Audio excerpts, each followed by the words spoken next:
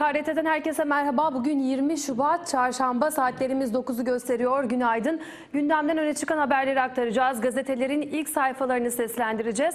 Ancak öncesinde yola çıkacak seyircilerimiz için İstanbul'daki trafik yoğunluğuna bir bakalım. İstanbul'da şu an için e, trafik yoğunluğu ortalama yüzde 53 sevgili izleyenler ve köprülere bakacak olursak 15 Temmuz Şehitler Köprüsü'nde köprü üzerinde Avrupa'dan Anadolu- Anadolu'ya geçişlerde bir trafik yoğunluğu yaşanmıyor.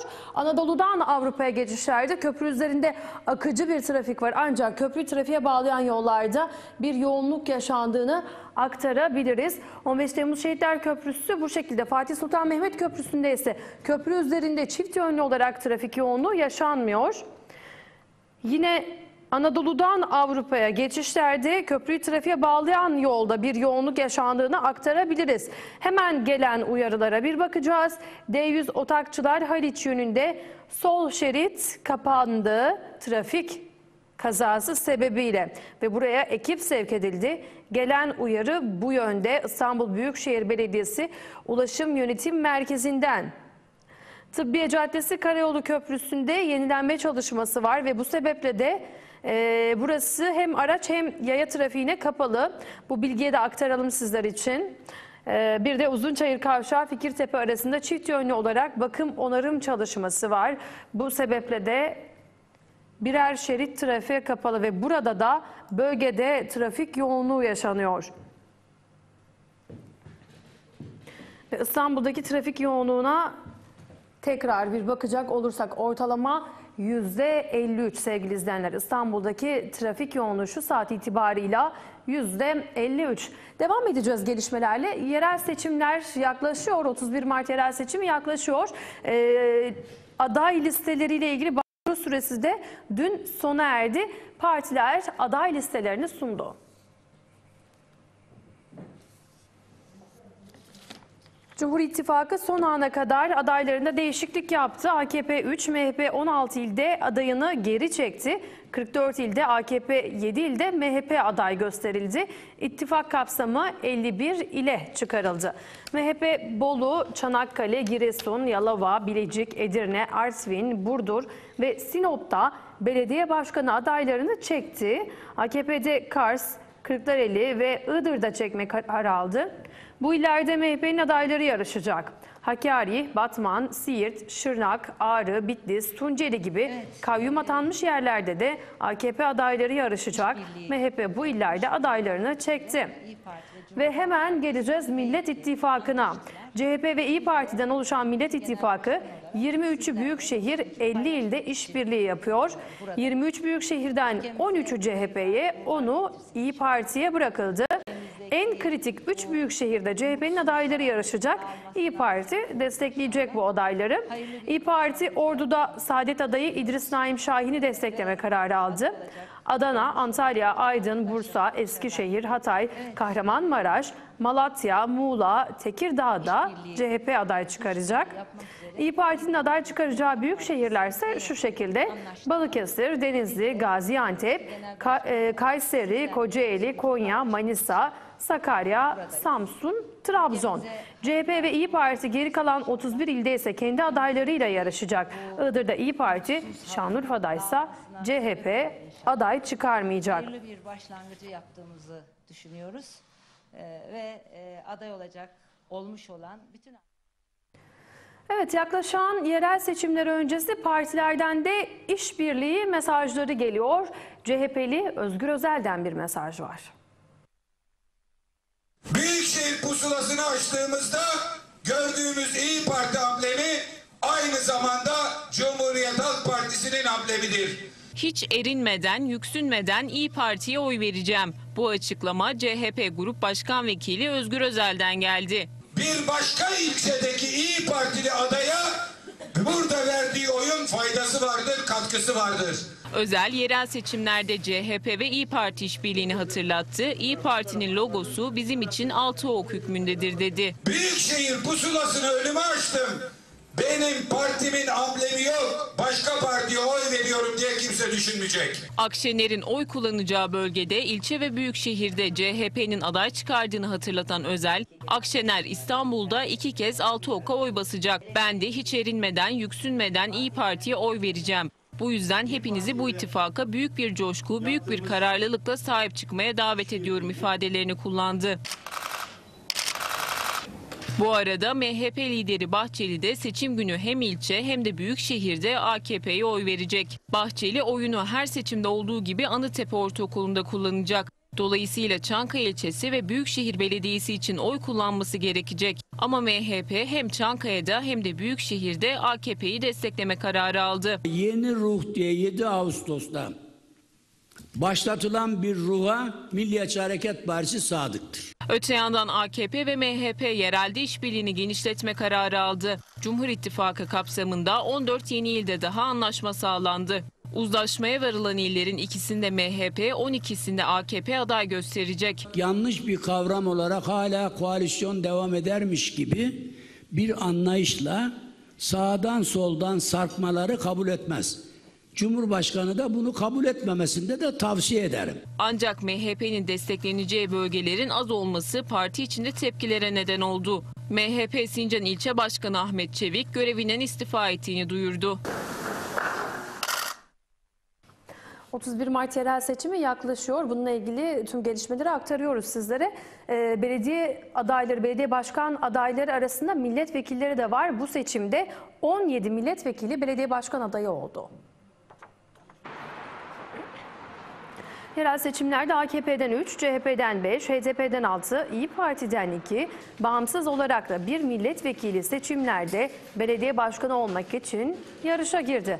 AKP'de Türkiye Büyük Millet Meclisi Başkanlığı koltuğunu bırakan İzmir Milletvekili Binali Yıldırım, AKP İstanbul Büyükşehir Belediye Başkanı olurken, AKP Ankara'da Kayseri Milletvekili Mehmet Özaseki'yi, Aydın'da da yine aynı şehrin milletvekili Mustafa Savaş'ı aday gösterdi.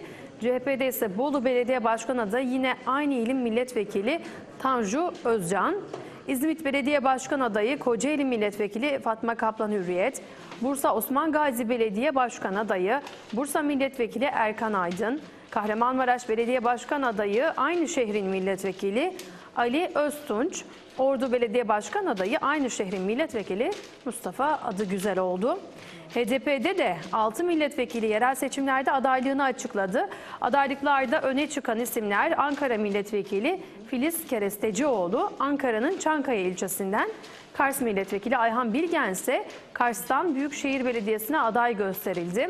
İyi Parti'de ise İyi Parti Balıkesir Milletvekili İsmail Ok ve Adana Milletvekili İsmail Koncuk seçim bölgelerinden aday oldu. Bağımsız Milletvekili Erhan Usta ise Samsun Büyükşehir Belediye Başkanlığı için adaylığa adını yazdırdı.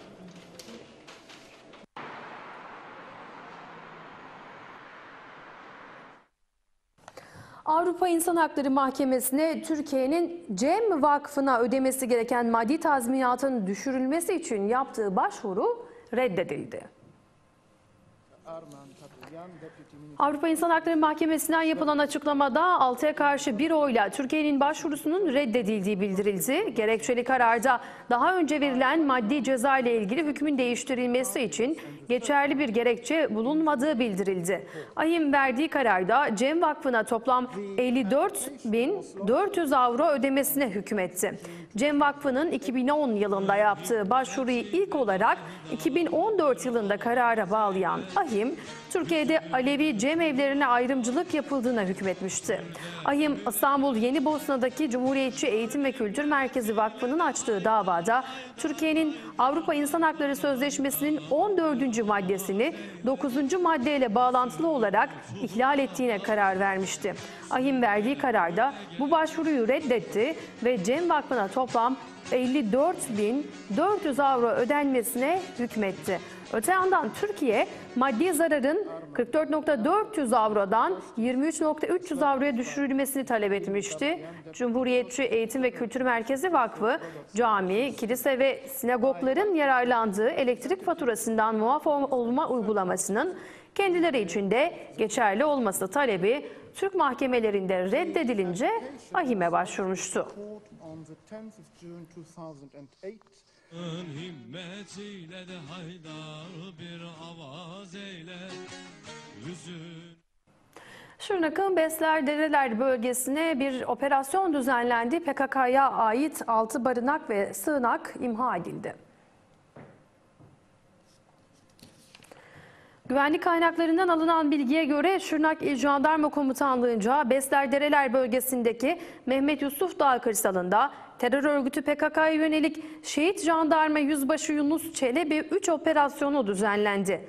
Güvenlik güçleri arazide yaptıkları arama faaliyetinde teröristlere ait 6 barınak ve sığınak tespit etti. Söz konusu sığınak ve barınaklarda piknik tüpü, akü, branda, örgüt kıyafeti, ayakkabı ve çok miktarda yaşam ve tıbbi malzeme bulundu. Güvenlik güçlerince ele geçirilen malzemeler imha edildi, sığınaklar kullanılamaz hale getirildi.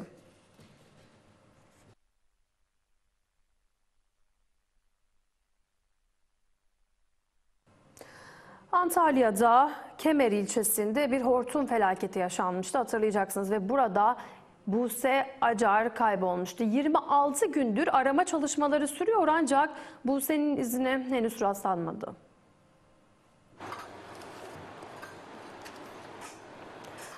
Antalya'nın Kemer ilçesinde 26 gün önce hortumun içinde bulunduğu otomobili sürüklemesi sonucu düştüğü derede kaybolan Kader Buse Acar'ı arama çalışması yapıldı. Derede suyun debisini azaltmak için kullanılan beton setlerden biri daha kırılıp biriken su tahliye edildi. Yapılan aramalara rağmen Kader Buse Acar'ın izine rastlanamadı. Kemer'de 24 Ocak günü yaşanan hortum felaketinde annesinin kullandığı otomobilin sürüklenip düştüğü Ağve Deresi'nde kaybolan üniversite öğrencisi Kader Buse Acar'ı arama çalışmaları peyderpey sürüyor. 26 gündür bulunamayan Kader Buse Acar'ın düştüğü derede yine çalışma yapıldı. Sağanak yağmurlar nedeniyle suyun yoğunluğunun sürekli artmasından dolayı net olarak bakılamayan noktalarda aramalar sürdürüldü. Çalışma kapsamında suyun debisini azaltmak için dereye konulan ve ilki daha önce kırılıp arama yapılan beton setlerden biri daha Kemer Belediyesi'ne ait iş makinesiyle kırıldı. Jandarma ekiplerinin gözetiminde Baba Ahmet Acar'ın da takip ettiği çalışmalar kapsamında ikinci sette 4 metrelik açıklık oluşturularak toplanan su tahliye edildi. AFAD ekipleri de yanlarında getirdikleri dalgıç pompalarla su tahliyesi yaptı. Çalışmalara rağmen Kader Buse Acar'ın izine rastlanmadı.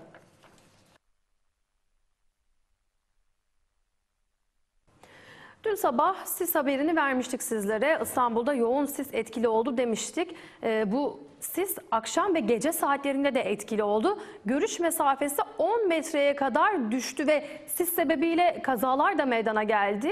Ki korkulan olmadı, ölen ya da yaralanan yok.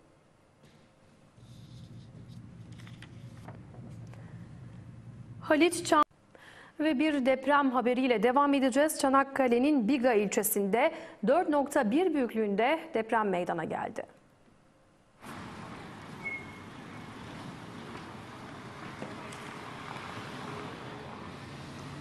Afet ve Acil Durum Yönetimi Başkanlığı verilerine göre bu akşam saat 22.48'de merkez üssü Çanakkale'nin Biga ilçesinde bir deprem meydana geldi.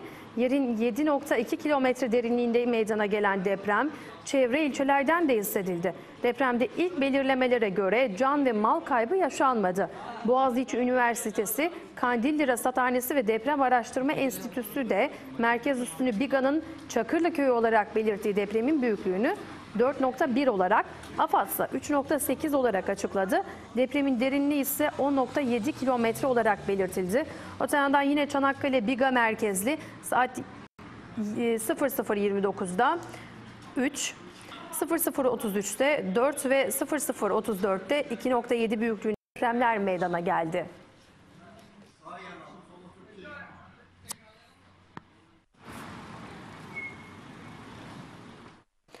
Evet. Bu arada bir deprem bilgisi daha geldi. Bu defa Hatay Samandağ'da sabah 8.35 sıralarında yaşandı bu deprem ve depremin büyüklüğü 4.1 olarak açıklandı. Bu sabah meydana gelen 8.35'te meydana gelen deprem 4.1 büyüklüğündeydi. Hatay'ın Samandağ ilçesinde.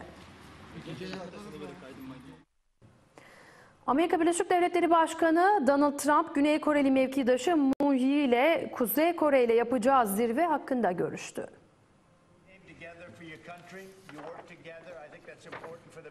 ABD Başkanı Donald Trump'ın Güney Kore Devlet Başkanı Moon Jae ile 27-28 Şubat tarihlerinde Kuzey Kore ile yapılacak zirveye ilişkin telefon görüşmesi gerçekleştirdiği bildirildi. Beyaz Saray, Trump ve Jae'nin arasında gerçekleşen telefon görüşmesi hakkında yazılı açıklama yaptı. Açıklamada Başkan Donald Trump, Güney Kore Devlet Başkanı Moon Jae ile 27-28 Şubat tarihlerinde Kuzey Kore ile Vietnam'ın Hanoi şehrinde yapılacak zirveye ilişkin telefon görüşmesi gerçekleştirdi. İki lider zirve hakkında yakın ilişki içerisinde olma konusunda fikir birliğine vardı ifadeleri yer aldı. Öte yandan Başkan Donald Trump Beyaz Saray'da basın mensuplarına Kuzey Kore hakkında açıklamalar yaptı. Trump, Kuzey Kore'nin nükleer silahlardan arındırılması konusunda herhangi bir acelesinin olmadığını belirterek bu konuda süre olarak herhangi bir baskı yok. Sonuç olarak Kuzey Kore'nin nükleer silahlardan arındırılmış oluşunu görmek istiyoruz. Bunu son kertede göreceğiz dedi. Başkan Trump, Kuzey Kore lideri Kim Jong-un'la yapacağı ikinci zirveyi kongrede birliğin durumu konuşmasında duyurmuştu.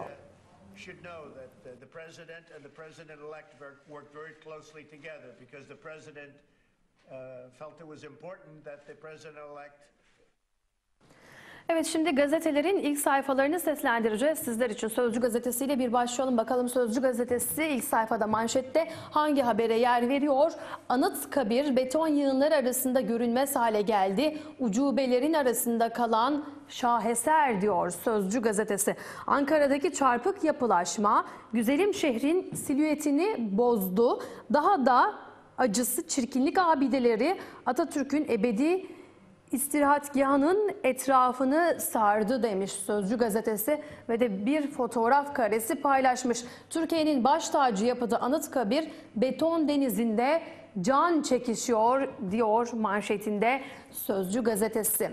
Hemen bakacağız. Tank özelleştirilmesine Atay'a şikayet ettiler. Sakarya'da tank palet fabrikasının özelleştirilmesi tartışma konusu. Bununla ilgili bir haber Sözcü gazetesinde yerini buluyor. Sakarya'daki tank palet fabrikasının özelleştirilmesini protesto eden Harbi Sendikası üyeleri Anıtkabir'e çıktı. Özel deftere atanın savaş araçlarına sahip olmayan milletler kuvvetlerin tutsağı olur sözünü yazdı. Cumhuriyet'in 6 çalışanına verilen ceza kesinleşti. Sözcü gazetesinin ilk sayfasında yer alan bu haberin ayrıntısına da hemen bakacağız. Cumhuriyet davasında verilen karar istinaf mahkemesinde onandı. 5 yıldan az ceza alanlar hapse, 5 yılı geçenler Yargıtay'a gidecek. CHP'li Tekin Erdoğan'ın yardımcısı Oktay'a sordu. İtfaiyeci siyasi parti reklamında oynar mı? Gürsel Tekin, İstanbul Büyükşehir Belediyesi itfaiye personelinin AKP'nin reklam filminde oynatılmasını meclis gündemine taşıdı diyor Sözcü gazetesi.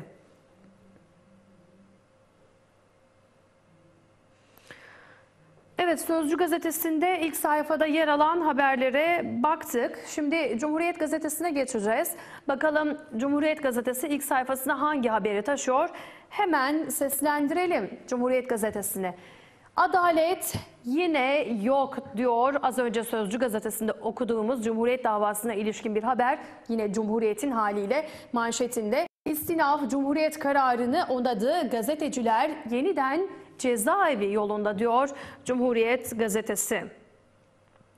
Ve Kılıçdaroğlu'nun ifadeleri de yerini buluyor bu haberin ayrıntısında talimatla karar çıkıyor. Cumhuriyet kararının hakka ve hukuka uygun olmadığını belirten CHP lideri Kemal Kılıçdaroğlu, aydınlarımıza yeni bir tehdit, yeniden hapishaneye girecekler. Alınan talimat gereği yargı kararları veriyor dedi. Talimatla yargının karar verdiğini söylüyor CHP lideri. AKP ve MHP ittifakı 51 ile çıktı. Son gün belediye meclis üyelikleri krizi yaşandı diyor. Dün listeler artık verilmişti. Ee, Bununla ilgili bir haber listeler salladı diyor Cumhuriyet Gazetesi.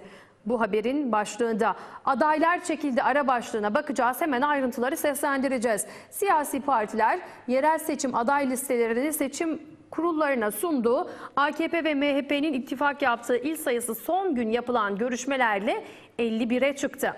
Bilecik ve Bolu'da MHP, Kars'ta da AKP adayını geri çekti. Söğüt ilçesi MHP, Ahlat ve Malazgirt ilçeleri ise AKP'de kaldı.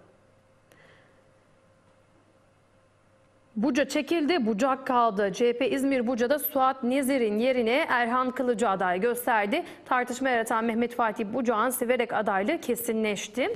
İstanbul Gençlik Kolları gençlere yeterince yer verilmemesine tepki gösterdi demiş. Evet, Cumhuriyet Gazetesi'nde yer alan haberleri seslendireceğiz.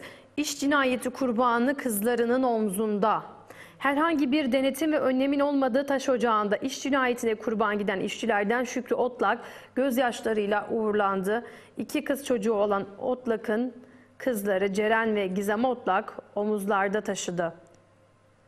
CHP'li Mürsel Albansa Albanlı Suat Özcan Milas'taki maden sahasını inceledi. Facia göz göre göre gelmiş. Ne denetim var ne önlem diyen Alban 5000 tonluk bir kayadan 600 tonluk parça kopararak üzerlerine düşüyor şeklinde yorum yaptı.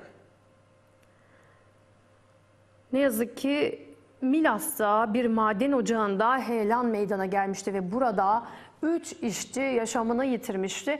Bununla ilgili bir haber Cumhuriyet Gazetesi'nde yerini buluyor ve bir de fotoğraf karesiyle destekleniyor. Bu haber babasının tabutunu omzunda taşıyan bir kadın. Devam edeceğiz şimdi. Toplam tutarı 3.2 milyar paralar saraylara akıtılacak diyor Cumhuriyet Gazetesi. Hemen bu haberin de ayrıntısını seslendireceğiz sizler için. 2019 yatırım programı yayımlandı.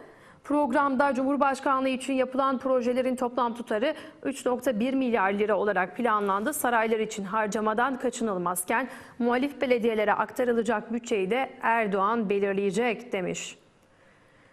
Evet Cumhuriyet Gazetesi'ni de bu şekilde noktalayacağız. Hemen bir bakalım. Akşam Gazetesi'nde, Akşam Gazetesi'nin ilk sayfasında hangi haberler yer alıyor? Akşam Gazetesi gelsin ekrana. Akşam Gazetesi'nde ankesör ablası dikkat çeken bir başlık manşette yer alıyor. Ankesörlü telefonlarla irtibat kurduğu örgüt üyelerini bir arada tutmakla görevli FETÖ ablası hücre evinde yakalandı demiş Akşam Gazetesi manşetinde. Evet, ilaç fırsatçısı hapı yuttu diyor Akşam Gazetesi. İlaç fırsatçısı hapı yuttu başlığını atıyor. İlaç sektöründe de fırsatçılık tartışması sürüyor. Ee, Sağlık Bakanı'ndan bununla ilgili bir açıklama gelmişti ve 32 eczanede fırsatçılık yapıldığını söylemişti bakan ve bunun üzerine eczacılardan da tepkiler vardı. Veri istiyorlardı ki henüz net bir veri yok bu konuda.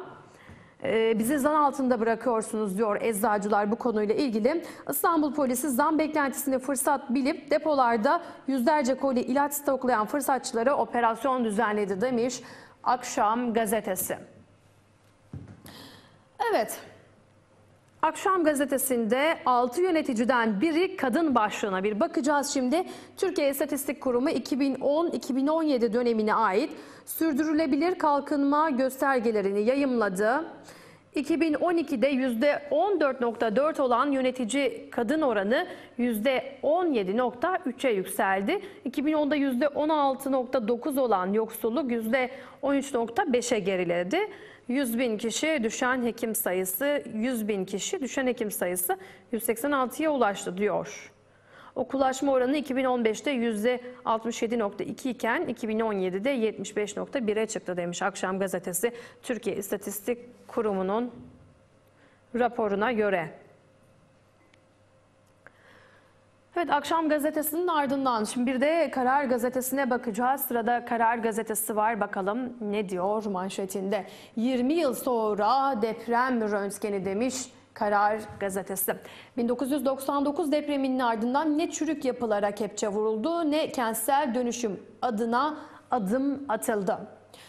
Kartal faciası, e, Kartal faciası ise korkunç gerçeği bir kez daha hatırlattı demiş Karar Gazetesi. 21 kişi hayatını kaybetmişti burada E, ve büyük bir acı yaşandı. Bunun ardından devlet geç de olsa adım attı diyor Karar Gazetesi. Çevre Bakanlığı 81 ilde riskli binaları 3 ay içinde bildirim genelgesi gönderdi. Karar Gazetesi'nde bu genelgeyle ilgili bir haber yer alıyor. Ne yazık ki Yeşilyurt Apartmanı çökmüş ve 21 kişi hayatını kaybetmişti burada. Riskli binalar var. Ardından çok defa ekranlarınıza taşıdık riskli binaların görüntülerini. Bununla ilgili atılan bir adım geç diyor Karar Gazetesi ama geç de olsa önemli bir karar diyor. Devam edeceğiz. Yine ilk sayfada yer alan haberlere bakıyoruz. Heyelan değil cinayet. Milas'ta madende yaşanan heyelanda dağdan kopan dev kayaların altında kalan işçiler Şükrü Otlak, Servet Çapacıoğlu ve Engin Tutuk can verdi. Ocak işletmecileri Mustafa Ali Kömürcüoğlu'yla Serkan Anar gözaltına alındı. Yaralı kurtulan kamyon şoförü Tayfun Akıncı'nın sözleri ise olayın kaza değil cinayet olduğunu ortaya koydu. Çalışma ekibinin başında duran çavuşa ve maden yetkililerine kayalardaki çatlakları gösterdik. Burası mezarımız olacak diye uyardık ancak çavuş çalışmaya devam edeceksiniz karşılığını verdi.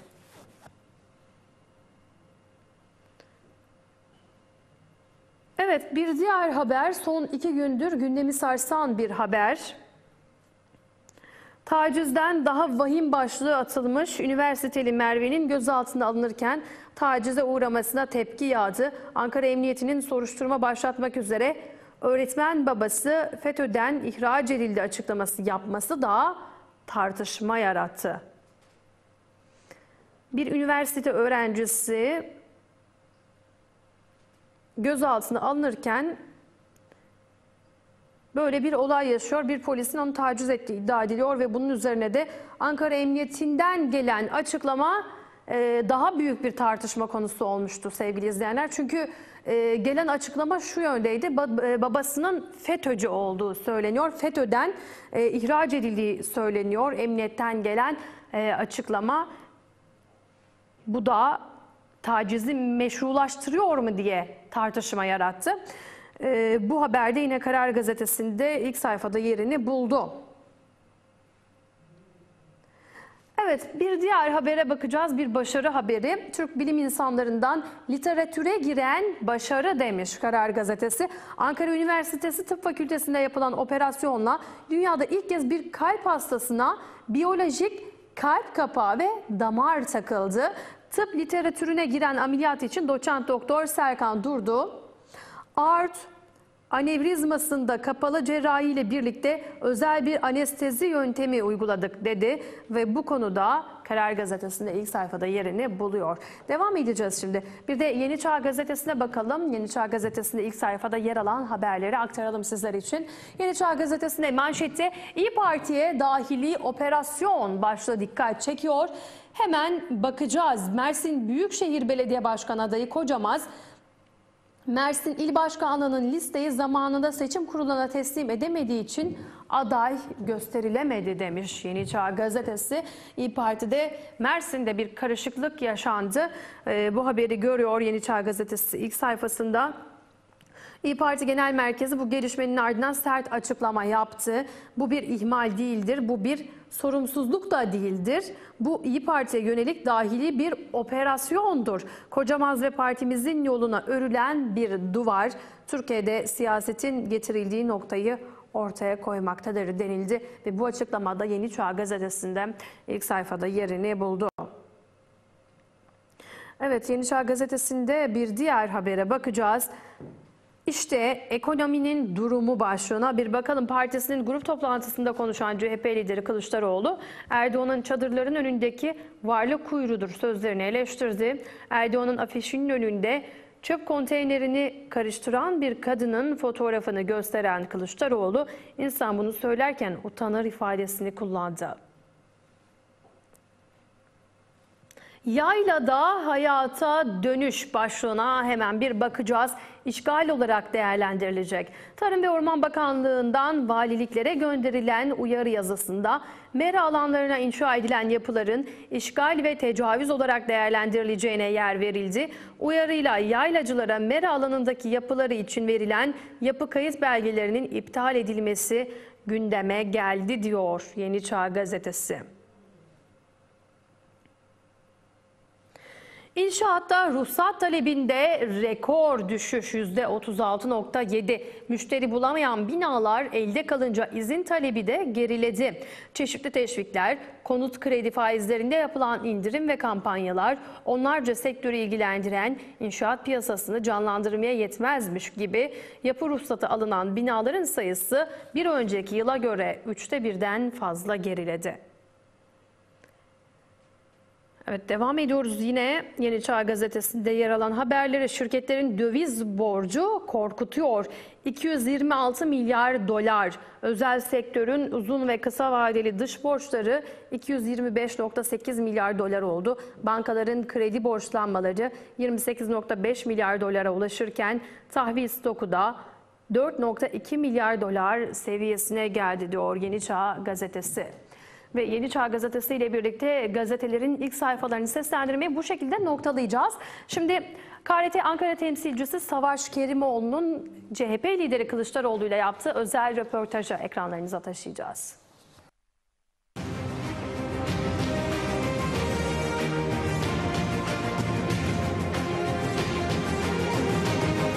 Sandıkta ittifak. 17 yılın sonunda getirdiler vatandaşı soğan kuyruğuna soktular. Bundan daha iyi belediye başkanı mı olur? Ağırlıklı olarak bir partiye gidiyorlar. Hepimiz geçeceğiz. Pazar mesaisinde de siyaset ara vermiyor. Tabi liderlerin gündemi bir hayli yoğun. Her birinin farklı adreslerde farklı mesaileri var. Biz bugün 17 Şubat Pazar günü CHP lideri Sayın Kılıçdaroğlu'na misafir olacağız ve İzmir programında neler yaşandığını an be an kaydedeceğiz. Şimdi yola çıkıyoruz. Efendim günaydın.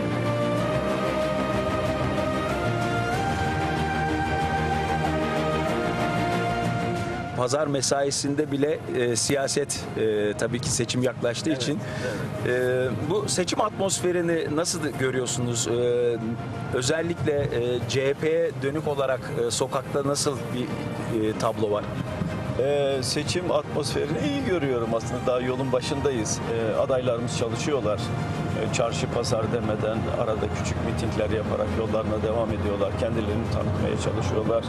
Ee, hazırlıklar e, yapılıyor ekipleri tarafından. Ve dolayısıyla biz de bugün e, İzmir'e gideceğiz. Aday tanıtımı var İzmir'de. Aynı zamanda büyük bir meydan açılışı var. E, sonra Ankara'ya döneceğiz. İzmir'e gidiyoruz. Ee, İzmir biraz da böyle e, Türkiye'nin e, farklı havasının olduğu bir adres. Siz İzmir'e giderken nasıl duygularla gidiyorsunuz? E, İzmir güzel. Ben İzmir milletvekiliyim aynı zamanda. E, askerliğimi İzmir'de yaptım. E, İzmir'le ilgili çok anılarım var. E, Türkiye'nin en güzel kentlerinden birisi. E, aslında demokrasiyi, insana saygıyı, birlikte yaşamayı görmek istiyorsanız İzmir'in sokaklarını gezmeniz yeterli zaten. O açıdan her İzmir'e gidişte e, içimde bir huzur var. Ee, yol boyu da devam edeceğiz zaten ama e, şimdi yerel seçimlerin e, bu yoğun maratonu içerisinde e, zaman zaman işte eve de vakit ayırma imkanı e, az oluyor. E, hanımefendi de küçük bir e, operasyon geçirmişti. Çok geçmiş olsun diyelim tekrar. E, bu tempoya hep klasiktir. Nasıl e, ayak uyduruyorsunuz, nasıl e, dayanıyorsunuz diye ama e, siz herhalde artık alıştınız yani. e, E, alıştık, alıştık yani bu tempoya da alıştık. Evdekiler de alıştılar. Onlar da artık biliyorlar. Özellikle seçim dönemlerinde falan yoğun bir tempo var. E, dolayısıyla onlar e, benim bu tempoma e, hem ayak uyduruyorlar hem de benim bu tempoda daha güç kazanmam için ellerinden gelen her türlü çabayı gösteriyorlar. E, torun e, İstanbul'da onu uzun süredir görmedim ama bu cep telefondan arada bir Görüntülü görüntülü konuşma imkanımız oluyor. Dün akşam öyle oldu.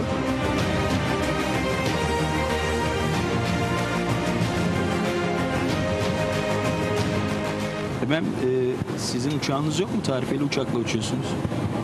E, uçan sarayımız yok. İyi ki yok ama. Vatandaşlarla bir arada uçuyorsunuz. Evet. Sizi gördüklerinde nasıl bir reaksiyon var? E, gayet güzel e, vatandaşlarla bir arada olmak, onlarla beraber seyahat etmek güzel bir olay.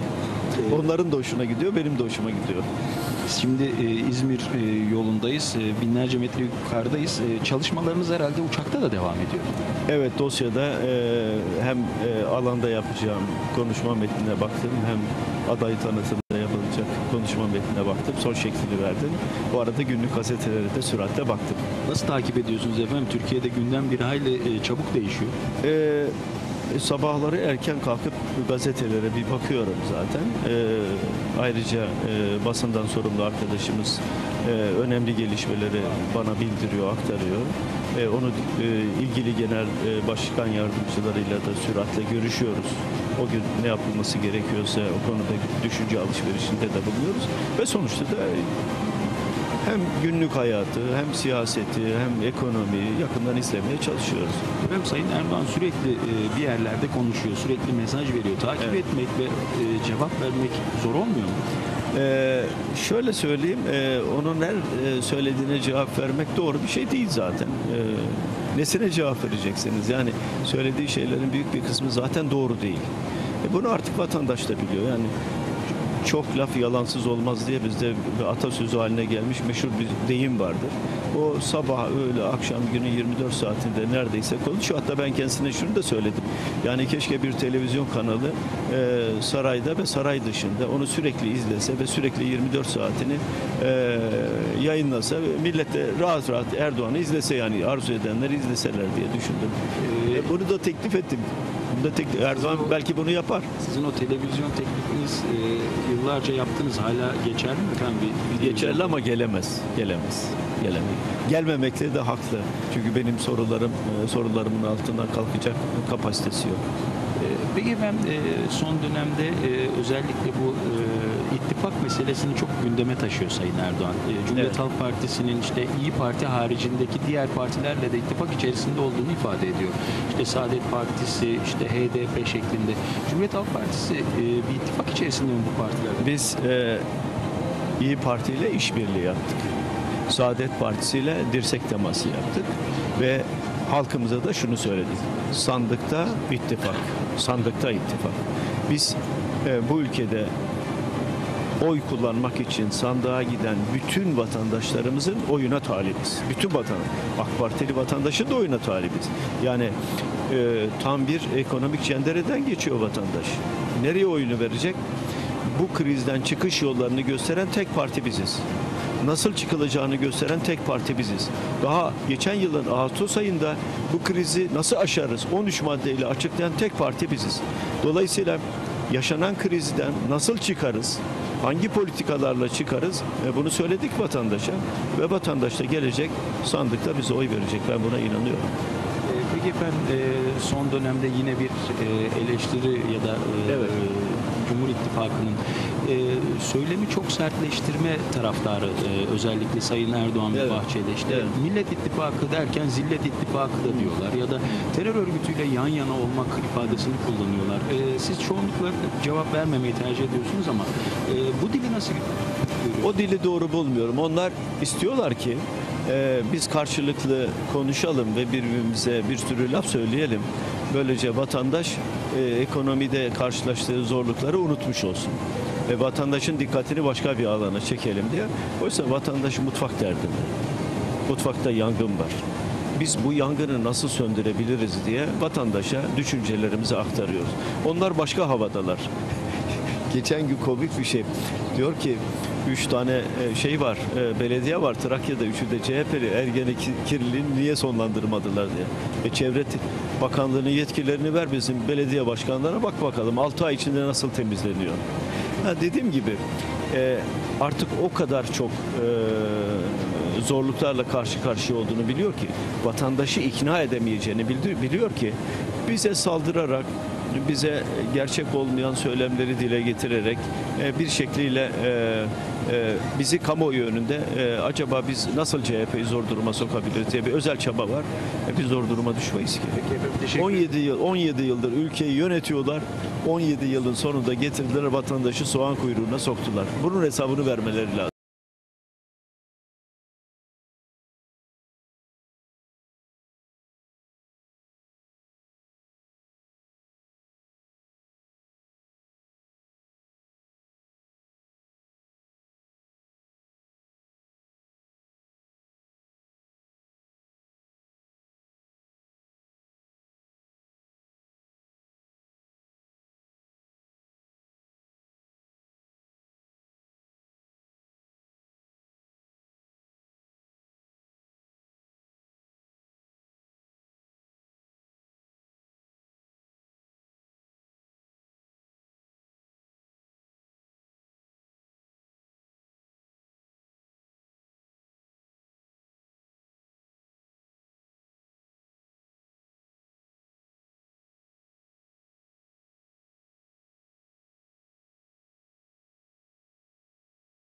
Adalet mücadelesinin lideri, Cumhuriyet Halk Partisi'nin çok saygıdeğer Genel Başkanı Kemal Kılıçdaroğlu'nu kürsüye davet ediyorum. Hepinize yürekten teşekkür ediyorum. CHP lideri şimdi kürsüde. Tabi vereceği mesajlar da yakından takip edilecek. Özellikle 31 Mart'a dönük mesajları önemli. Çünkü İzmir'den yola çıkarak CHP tüm Türkiye'de iddialı bir çıkış yapmak istiyor. Ve İzmir'de coşkuyla karşılanan Kılıçdaroğlu manifestosunu tek tek başlıklar halinde kürsüden aktardı. Dışarıdan ithal aday getirdiler. İthal belediye başkanıyla devasa bir İzmir yönetilir mi?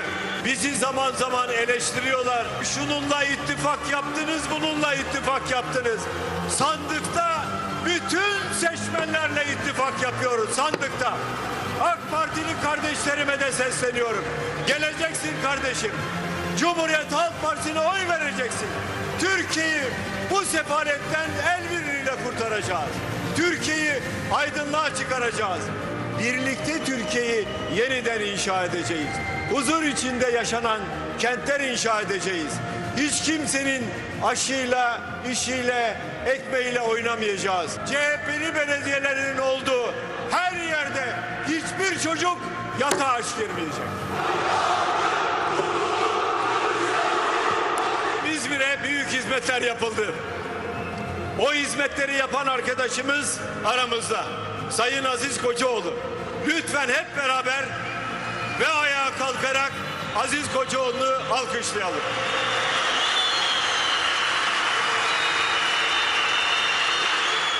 CHP lideri Aziz Kocaoğlu'nu salona alkışlatıyor. 31 Mart'ta Aziz Kocaoğlu aday değil ama İzmirliler Aziz Kocaoğlu'na ayakta alkışlarla veda ediyor. Bu anlamda Kılıçdaroğlu Aziz Kocaoğlu'na bir onur, bir gurur vedası ortaya koyuyor. 397 yıl hapisle yargılandı. 397 yıl. Ama diz çökmedi ve boyun eğmedi.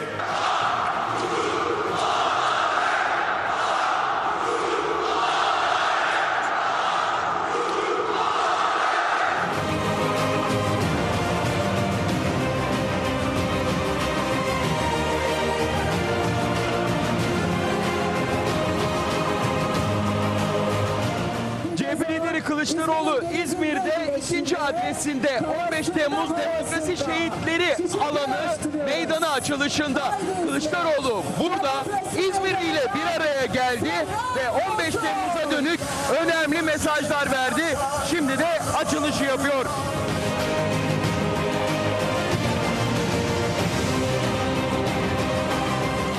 15 Temmuz değil, 2 15 Temmuz var. Bir halkın 15 Temmuz'u, iki sarayın 15 Temmuz'u. Biz halkın 15 Temmuz'una evet, sarayın 15 Temmuz'una hayır diyoruz. Halkın 15 Temmuz'u bu meydanın tanımlandığı şekliyle bir demokrasi şölenidir. Karşılığında bedel, bedellerin ödendiği bir demokrasi şölenidir. İnsanlar, insanlar hayatlarını verdiler. Ne için? Demokrasi için verdiler. Ama birileri de 15 Temmuz'u Allah'ın lütfu sayıp 15 Temmuz'dan sonra 20 Temmuz sivil darbesini yaptılar. Biz o hal görüşmelerinin başladığı 20 Temmuz'da o hal görüşmelerine hayır diyen, demokrasiyi savunan, demokrasi kültürü olan bir siyasal gelenekten geliyoruz. Yani Kuvayi Milliye geleneğinden geliyoruz. Yani demokrasi geleneğinden geliyoruz. Yani Mustafa Kemal Atatürk'ün çizdiği gelenekten geliyoruz.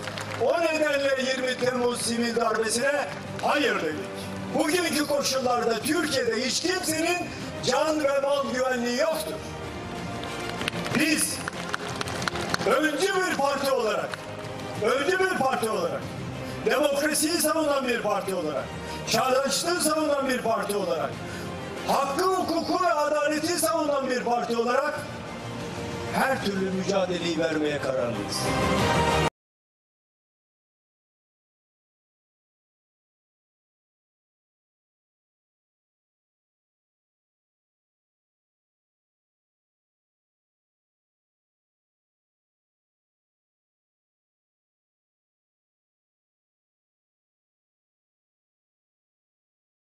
Lideri İzmir'deki temasları sırasında sıklıkla mesajlarını da verdi. O mesajlar içerisinde hiç şüphe yok ki en öne çıkan başlık Erdoğan'a yanıtlarıydı.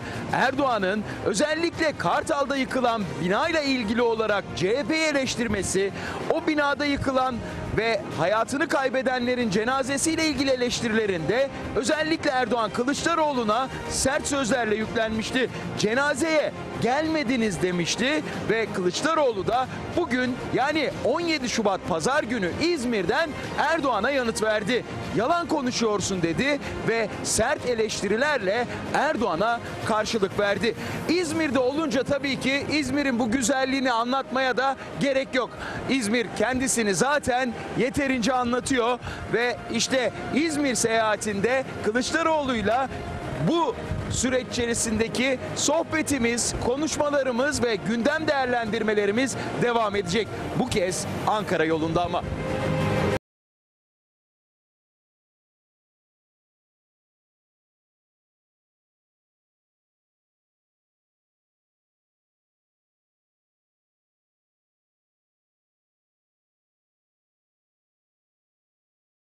İzmir'in bu güzelliğinde e, siyaset konuşmak biraz e, zorlayıcı ama e, özellikle e, 31 Mart e, adaylarına dönük olarak e, bu aday belirleme sürecinde zaman zaman tartışmalar oldu. Şimdi de e, özellikle liyakata e, işaret edilen eleştiriler var. Bunlarla ilgili olarak e, ne demek istersiniz? Siz sonuçta e, önemli adreslere 4 ilçe e, belediye başkanını Büyükşehir'e de aday gösterdi Cumhuriyet Halk Partisi. E demek ki bunlar liyakatlerini ispa- ispatladılar. Başarılı belediye başkanlarıydı. Nitekim e, o illerde de genel kabul gördüler. Yani bir Antalya e, adayımız, Konyaaltı e, adayımızı Konyaaltı'da e, belediye başkanlığı yapıyordu. E, şu anda e, Antalya alabilecek e, güçte ve kapasitede. İzmir e, yani Seferihisar'dan bir arkadaşımız geldi şimdi İzmir'de Büyükşehir Belediye Başkanı adayı. Ekrem İmamoğlu Beylikdüzü'nden geldi İstanbul Büyükşehir Belediye Başkanı adayı ve her gün kabulü biraz daha artıyor. Geniş kitleler daha fazla seviyor. Sevecen, hoşgörülü, güzel bir dil kullanıyor. Hiç kimseyi ötekileştirmiyor. Kendisine yönelik eleştiri yapan vatandaşları bile kucaklıyor. E ne olacak bundan daha iyi belediye başkanı mı olur? Bursa'da da aynı bir fotoğraf. Bursa'da da yine aynı şekilde e, Mustafa Bozbey e, Nilüfer'deydi. E, son derece başarılı bir belediye başkanıydı. Bursa deyince de herkesin aklına Nilüfer gelirdi. Yani Ankara'nın Çankaya'sı gibi veya Yeni Mahallesi gibi. E şimdi bütün Bursa'yı Nilüfer gibi yapacak. Adana'da da aynı. Adana'da e, Seyhan e, Belediye Başkanımız e, Zeydan Karalar oldukça başarılı bir belediye başkanıydı.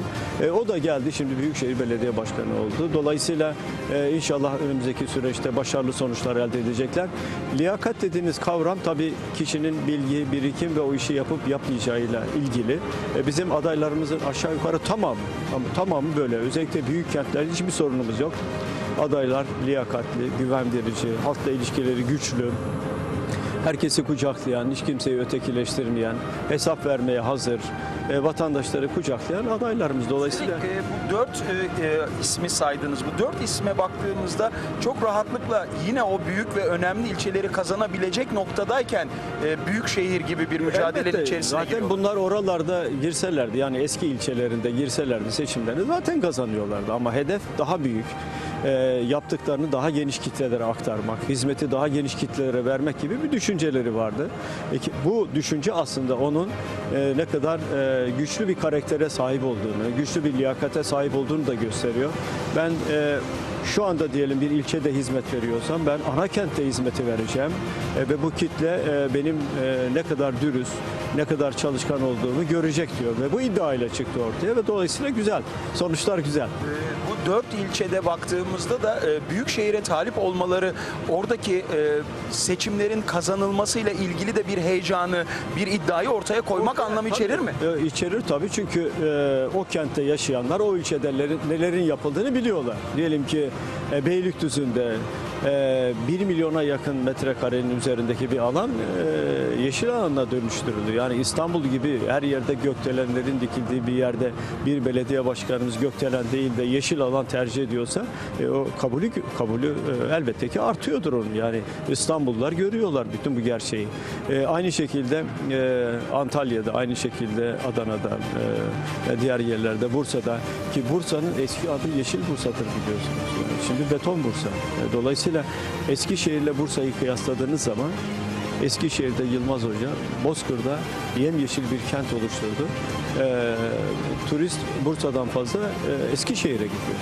Mustafa Bozbey şimdi alacak Bursa'yı gerçekten de o tarihsel dokusuna da uygun olarak e, modern bir kent olarak ortaya çıkaracak. Yani. Buna inanıyorum. E, Hedef olarak baktığımızda ilçede kalarak kendisi sonuçta siyaseten e, garanti görülen bir yerde kalmayarak büyükşehire aday olmak bir e, iddianın or bir, bir hem risk bir riski üstleniyor ben burayı alacağım diyor ve e, ve kendi yaptığı e, beldede yaptığı çalışmayı da geniş kitlelere duyurmuş olacak. Dolayısıyla o e, ilçeye giden her yurttaş onun ne kadar güçlü bir belediye başkanlığı yapacağını gözleriyle görüyor ve tanık oluyor. Hani başka bir yerden insanlar gelmiyorlar. Kendi bulundukları, yaşadıkları kentten bir ilçeden geliyorlar. Dolayısıyla o karşılıklı güvenin oluşmasına ve pekişmesine yol açıyor. liyakat dediğimiz şey de zaten vatandaşın Budur herhalde zaten. bu, bu gördükleri Evet. ve alt alta yazdıkları. Aynen, aynen, aynen. Yıllardır da orada başarıyla görev yapıyor Görev diyorsunuz. yapıyor, evet, E, evet. Hedefi de büyütüyorlar üstelik. E, büyütüyorlar tabii. Büyütecekler hedefi. Daha güçlü, daha güzel hedefler koyacaklar. E, çünkü bu söylediğimiz kentlerde gerçekten de e, vatandaşların huzur içinde yaşaması lazım. Yani yeşili olmayan bir kent olabilir mi? İnsanların mutlu olmadığı bir kent olabilir mi? Çocukların gezip eğlenmediği, koşturmadığı bir kent olabilir mi? E şimdi belediye başkanı bütün bunları düşünmek zorundadır.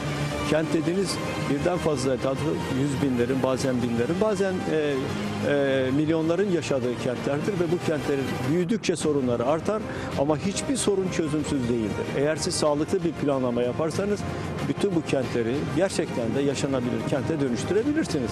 Paris'e bakın, Roma'ya bakın, Milano'ya bakın, Londra'ya bakın, Tokyo'ya bakın. E şimdi oralarda belediye başkanları var da bizde yok mu? Bizde de var başarılı belediye başkanları. Az önce konuştu. Ee, e, İzmir Büyükşehir Belediye Başkanımız. Karşılaştıkları zorlukları da anlattılar. Ee, e, bütün bunlara rağmen İzmir gerçekten de e, Doğu Akdeniz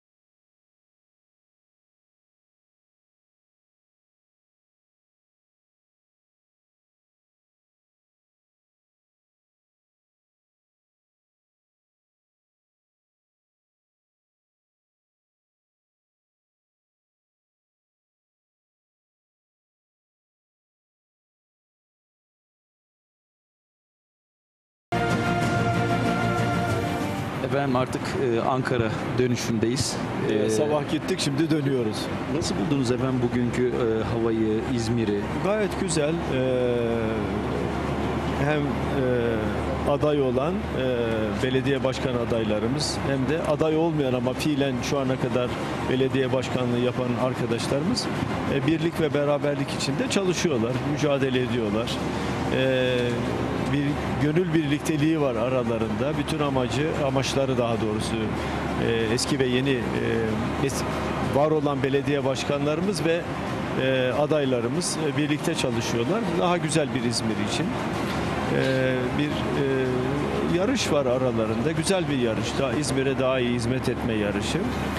E, daha güzel bir tabloyla da karşılaştık. Ya eşleriyle beraber e, gelmeleri ayrıca daha güzel bir tablo. E, Dolayısıyla güzel bir İzmir'i e, İzmirliler e, yaşayacaklar. E, aday olamayanlar ve aday olanlar bugün birlik beraberlik görüntüsü içerisindelerdi. Evet. E, ama son dönemde de e, aday olamayan isimlerin e, istifa etmeleri, başka partilerden aday olmaları çokça konuşuluyor ve tartışılıyor. Siz nasıl değerlendiriyorsunuz bunu?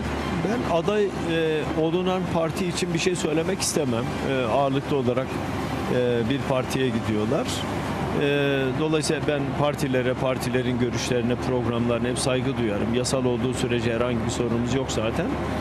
Ama e, aday olmadı diye istifa edip başka bir partiden aday olmayı doğru bulmam, etik bulmam. E, e, bu tür bir e, davranış e, kendisinin dışında başka bir kişinin belediye başkanlığı yapamayacağı e, anlamına gelir ki bu doğru değil. Hepimiz geçiciyiz. E, sonuçta e, bu, bu ülkeye cumhurbaşkanları geldi gitti, başbakanlar geldi gitti, parti genel başkanları geldi gitti. E, her seferinde yeni e, insanlar geliyorlar ve sonunda hayat devam ediyor. Yani bir anlamda şuna katılır mısınız efendim? Ee, ben yoksam bir anlamı yok anlayışı e, partiye e, zarar verir bir durum Zarar değil mi? verir tabii partiye de zarar verir, siyasete de zarar verir, siyaset kurumunu ku- siyaset kurumuna olan güveni e, sarsar, bozar. E, bütün bunların hepsine bakmak lazım. Bu açıdan hani etik olarak doğru bulmadığımı ifade ettim. Bunların hepsini kapsadığı için. Efendim e, bu seçimlere 31 Mart seçimlerine çok özel bir e, önem veriyorsunuz. Evet, E, evet. Yerel seçim ama sizin e, pencerenizden baktığımda e, gerçekten daha fazlasıyla Türkiye açısından, Türkiye siyasetinin e, geleceği açısından da çok önemli bir seçim. Şöyle e, elbette yani her seçim önemlidir. E, özellikle büyük kentlerde e, ciddi kutuplaşmalar var. Ciddi bir yoksulluk var. E, sosyal politikalar hemen hemen hiç uygulanmıyor. E, her yeri biz İzmir gibi yapmak istiyoruz. Eskişehir gibi yapmak istiyoruz. Tekirdağ gibi yapmak istiyoruz.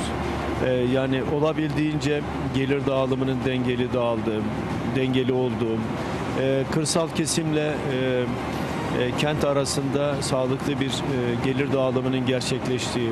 Bugün e, Aziz Bey e, çok sayıda örnek verdi mesela.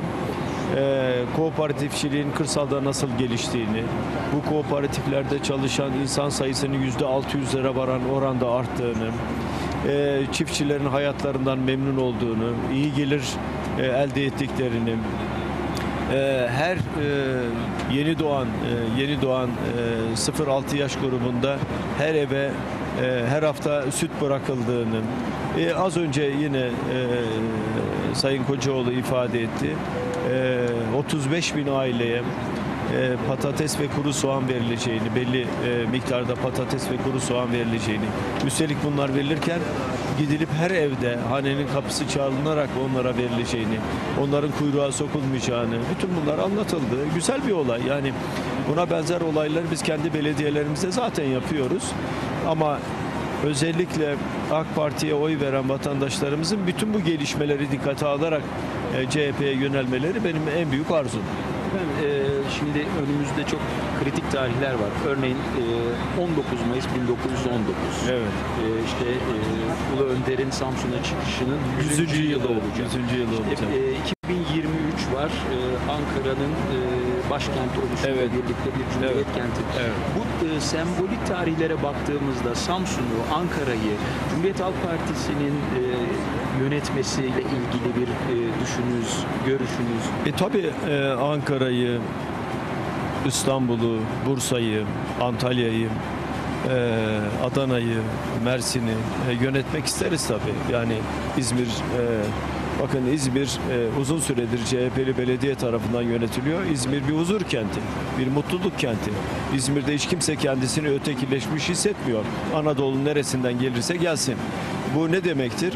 İzmir'i yöneten insanların ee, İzmir'in her bireyini kucakladıkları anlamına gelir. Onların sorunlarıyla doğrudan doğruya ilgilendikleri anlamına gelir. Ee, aynı zamanda çevre, aynı zamanda doğaya olan saygı, e, yeşil bir kent olması. İzmir'in kendi içinde bir kent ormanı yaratıldı. Bu çok önemli bir olay. Ee, eğer siz İzmir'in ortasında bir kent or- ormanı yaratıyorsanız, inşa ediyorsanız bu kente verdiğiniz ve o kentte yaşayan insanlara verdiğiniz değeri gösterir. E, bu bahsettiğim işte 100. yıl değerleri oldukça önemli. E, özellikle Evet. Cumhuriyeti kuran bir Evet, parti olarak. evet. E, gerçekten e, hedef 100. yıl e, süreçlerinde e, o belediyelerde e, olmak e, nasıl bir e, coşku Şöyle- yaratır, nasıl bir şöyle- Türkiye fotoğrafı ortaya koyar? Şimdi biz e, 100 yıl içinde ne yaptık? Cumhuriyetimizi kurduk önce. e, bu cumhuriyetin demokrasiyle taşlanması lazım. Fakat demokrasimiz şu anda kan kaybediyor. Biz yerelde demokrasiyi zaten yapıyoruz, gerçekleştiriyoruz. Örneğin Aydın e, Büyükşehir Belediye Başkanımıza e, bakalım. E, çok geniş bir alanı e, referandum yaptı. Halka sordu. Burayı yeşil alan mı yapayım yoksa buralarda binalar mı yapalım diye.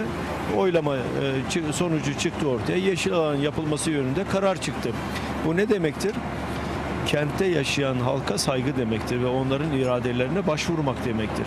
E, aynı zamanda bu e, demokrasinin güçlenmesi demektir. E, belediye başkanını ben seçtim ama çok önemli bir karar alırken belediye başkanı benim görüşüme başvuruyor anlamına gelir. Bu demokrasiyi yerelde güçlendirmiş olur. Yerelde güçlenen demokrasi yurt genelinde demokrasinin güçlenmesi anlamına gelir. 100. yılda güçlen demokrasi güçlenmiş bir Türkiye. E, Bizim en büyük arzularımızdan birisi bu. E, Düşünün ülkede kimse düşüncesini rahat açıklayamıyor, çekiliyor, korkuyor. Acaba e, başıma bir bela gelir mi? Birisi gelir, bir polis gelir.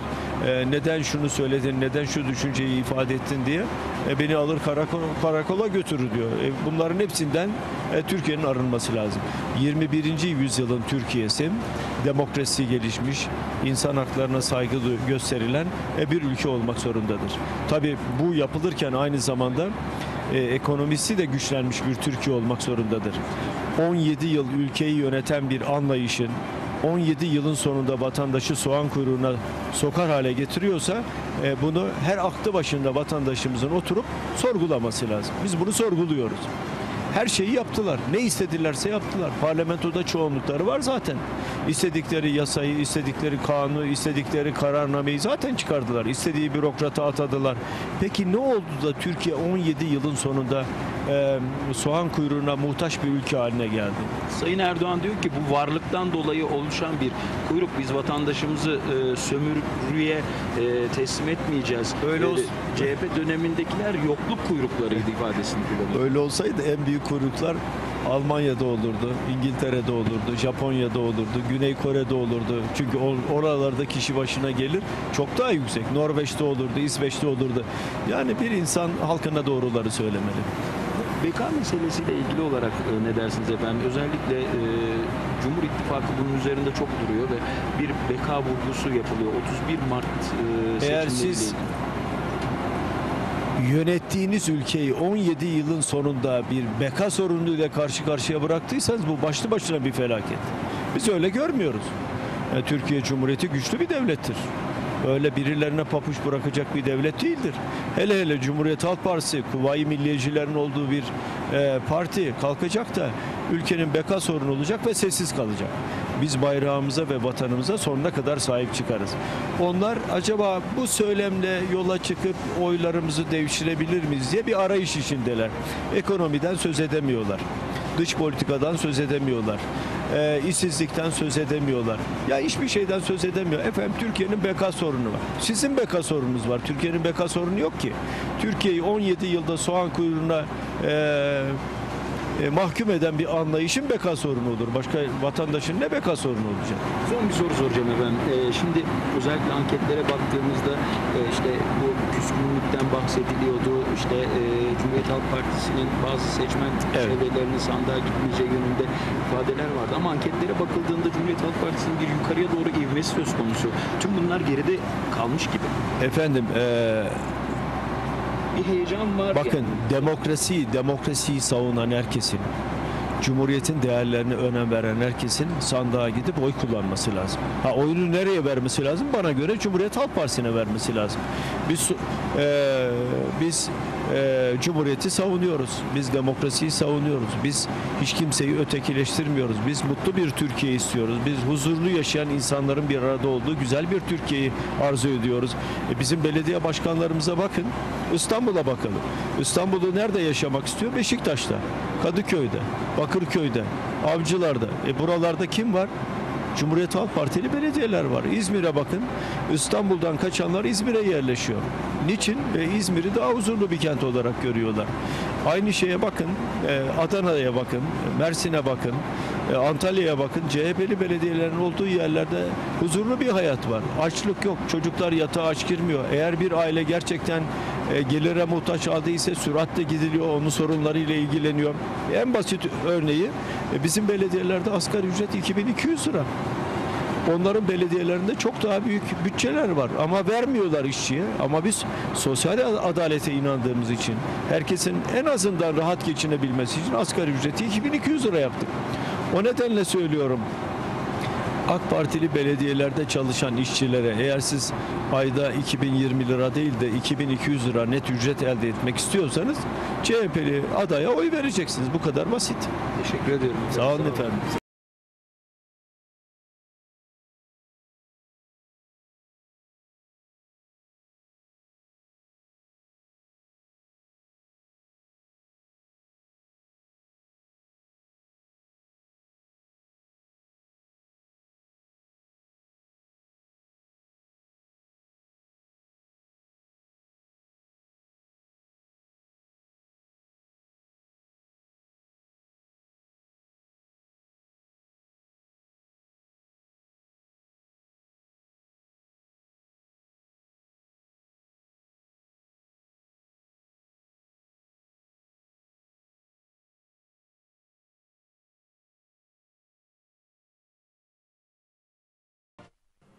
KRT Ankara temsilcisi Savaş Kerimoğlu'nun CHP lideri Kemal Kılıçdaroğlu ile yaptığı özel röportajı dinlediniz. Gelişmeleri aktarmayı sürdüreceğiz. Yerel seçim aday listeleriyle ilgili başvuru süresi dün tamamlandı. Partiler aday listelerini seçim kurullarına teslim etti. 31 Mart yerel seçimleri öncesinde Cumhur İttifakı'nın kapsamı 51 ile genişledi. CHP ve İyi Parti'den oluşan Millet İttifakı 23'ü büyükşehir 50 ilde işbirliği yapıyor.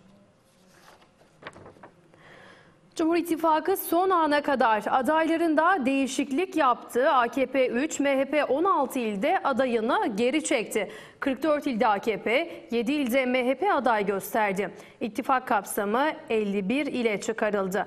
MHP Bolu, Çanakkale, Giresun, Yalova, Bilecik, Edirne, Artvin, Burdur ve Sinop'ta belediye başkanı adaylarını çekti. AKP'de Kars, Kırklareli ve Iğdır'da çekme kararı alındı. Bu illerde MHP'nin adayları yarışacak. Hakkari, Batman, Siirt, Şırnak, Ağrı, Bitlis, Tunceli gibi kayyum atanmış yerlerde de AKP adayları yarışacak. MHP bu illerdeki adaylarını çekti. Ve gelelim Millet İttifakı'na.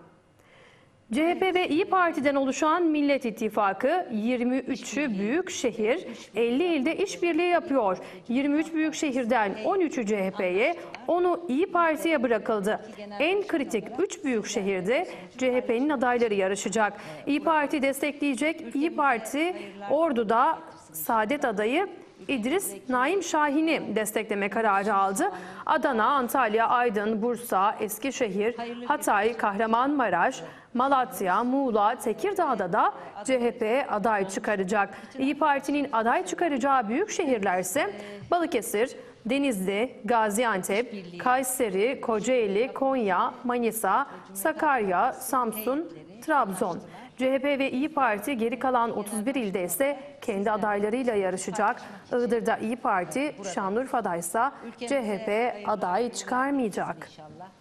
Ülkemizdeki bu umutsuz hava Yaklaşan yerel seçimler öncesi siyasi partilerden işbirliği ve ittifaklara destek çağrıları geldi. CHP Grup Başkan Vekili Özgür Özel, CHP'nin aday çıkarmadığı bölgelerde İyi Parti'ye çekinmeden oy verilmesi gerektiğini söylerken AKP ve MHP de ittifak kapsamına 14 ili daha dahil etti. Büyükşehir pusulasını açtığımızda gördüğümüz İyi Parti amblemi aynı zamanda Cumhuriyet Halk Partisi'nin amblemidir. Hiç erinmeden, yüksünmeden İyi Parti'ye oy vereceğim. Bu açıklama CHP Grup Başkan Vekili Özgür Özel'den geldi. Bir başka ilçedeki İyi Partili adaya burada verdiği oyun faydası vardır, katkısı vardır. Özel yerel seçimlerde CHP ve İyi Parti işbirliğini hatırlattı. İyi Parti'nin logosu bizim için altı ok hükmündedir dedi. Büyükşehir pusulasını önüme açtım. Benim partimin amblemi yok, başka partiye oy veriyorum diye kimse düşünmeyecek. Akşener'in oy kullanacağı bölgede ilçe ve büyükşehirde CHP'nin aday çıkardığını hatırlatan Özel, Akşener İstanbul'da iki kez altı oka oy basacak. Ben de hiç erinmeden, yüksünmeden İyi Parti'ye oy vereceğim. Bu yüzden hepinizi bu ittifaka büyük bir coşku, büyük bir kararlılıkla sahip çıkmaya davet ediyorum ifadelerini kullandı.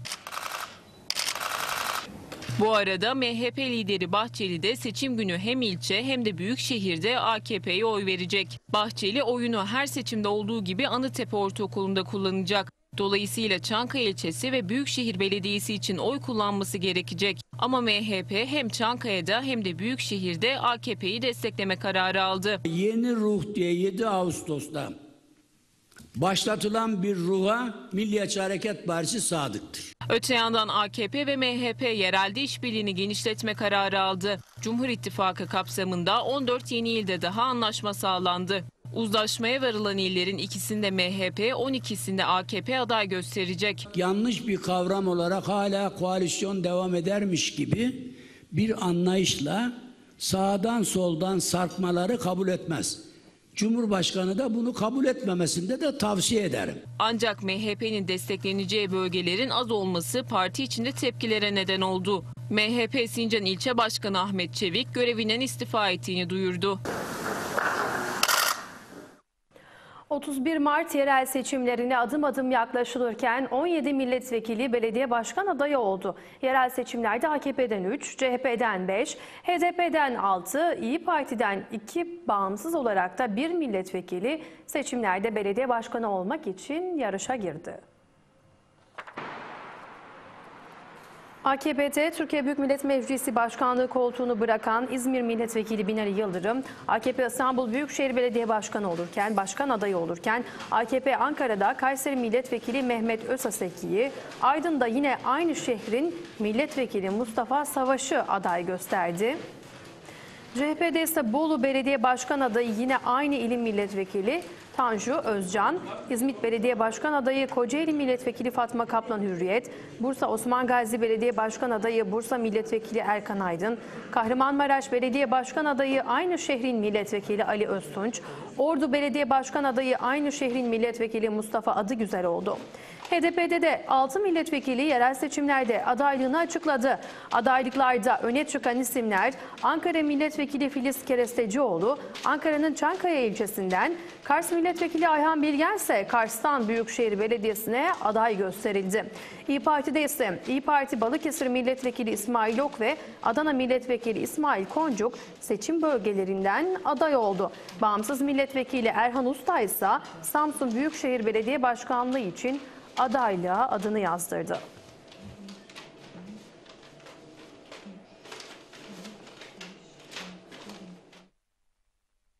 Avrupa İnsan Hakları Mahkemesi'nde Türkiye'nin Cem Vakfı'na ödemesi gereken maddi tazminatın düşürülmesi için yaptığı başvuru reddedildi. Avrupa İnsan Hakları Mahkemesi'nden yapılan açıklamada 6'ya karşı bir oyla Türkiye'nin başvurusunun reddedildiği bildirildi.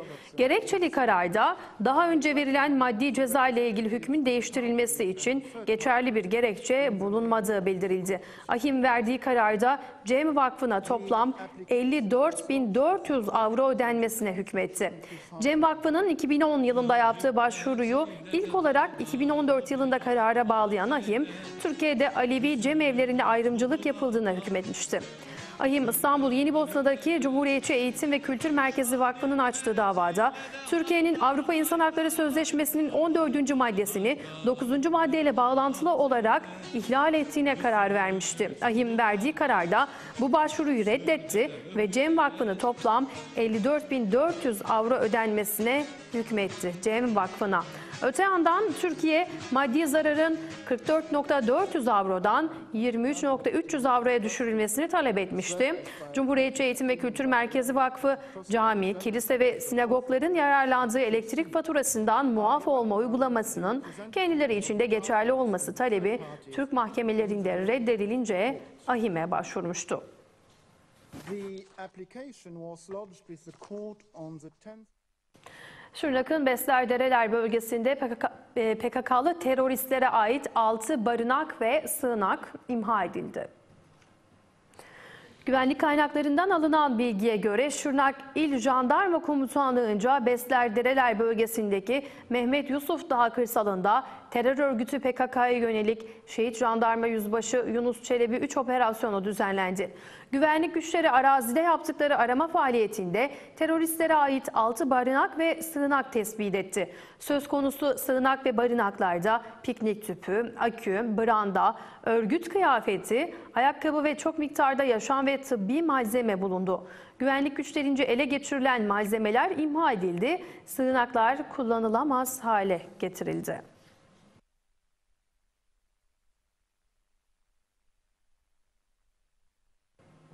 Antalya'nın Kemer ilçesinde meydana gelen hortum felaketinde derede kaybolan Buse Acar'ın arama çalışmaları halen devam ediyor. 26 gündür süren çalışmalarda Buse'nin izine rastlanamadı. Antalya'nın Kemer ilçesinde 26 gün önce hortumun içinde bulunduğu otomobili sürüklemesi sonucu düştüğü derede kaybolan Kader Buse Acar'ı arama çalışmaları devam ediyor. Derede suyun debisini azaltmak için kullanılan beton setlerden biri daha kırılıp biriken su tahliye edildi. Yapılan aramalara rağmen Kader Buse Acar'ın izine rastlanamadı. Kemer'de 24 Ocak günü yaşanan hortum felaketinde annesinin kullandığı otomobilin sürüklenip düştüğü Ava Deresi'nde kaybolan üniversite öğrencisi Kader Buse Acar'ı arama çalışmaları Peyderbey sürüyor. 26 gündür bulunamayan Kader Buse Acar'ın düştüğü derede yine çalışma yapıldı. Sağanak yağmurlar nedeniyle suyun yoğunluğunun sürekli artmasından dolayı net olarak bırakılamayan noktalarda aramalar sürdürüldü. Çalışma kapsamında suyun debisini azaltmak için dereye konulan ve ilk daha önce kırılıp arama yapılan beton setlerden biri daha Kemer Belediyesi'ne ait iş makinesiyle kırıldı. Jandarma ekiplerinin gözetiminde Baba Ahmet Acar'ın da takip ettiği çalışmalar kapsamında ikinci sette 4 metrelik açıklık oluşturularak toplanan su tahliye edildi. AFAD ekipleri de yangınlarda yanlarında getirdikleri dalgıç pompalarla su tahliyesi yaptı. Çalışmalara rağmen Kader Buse Acar'ın izine rastlanmadı.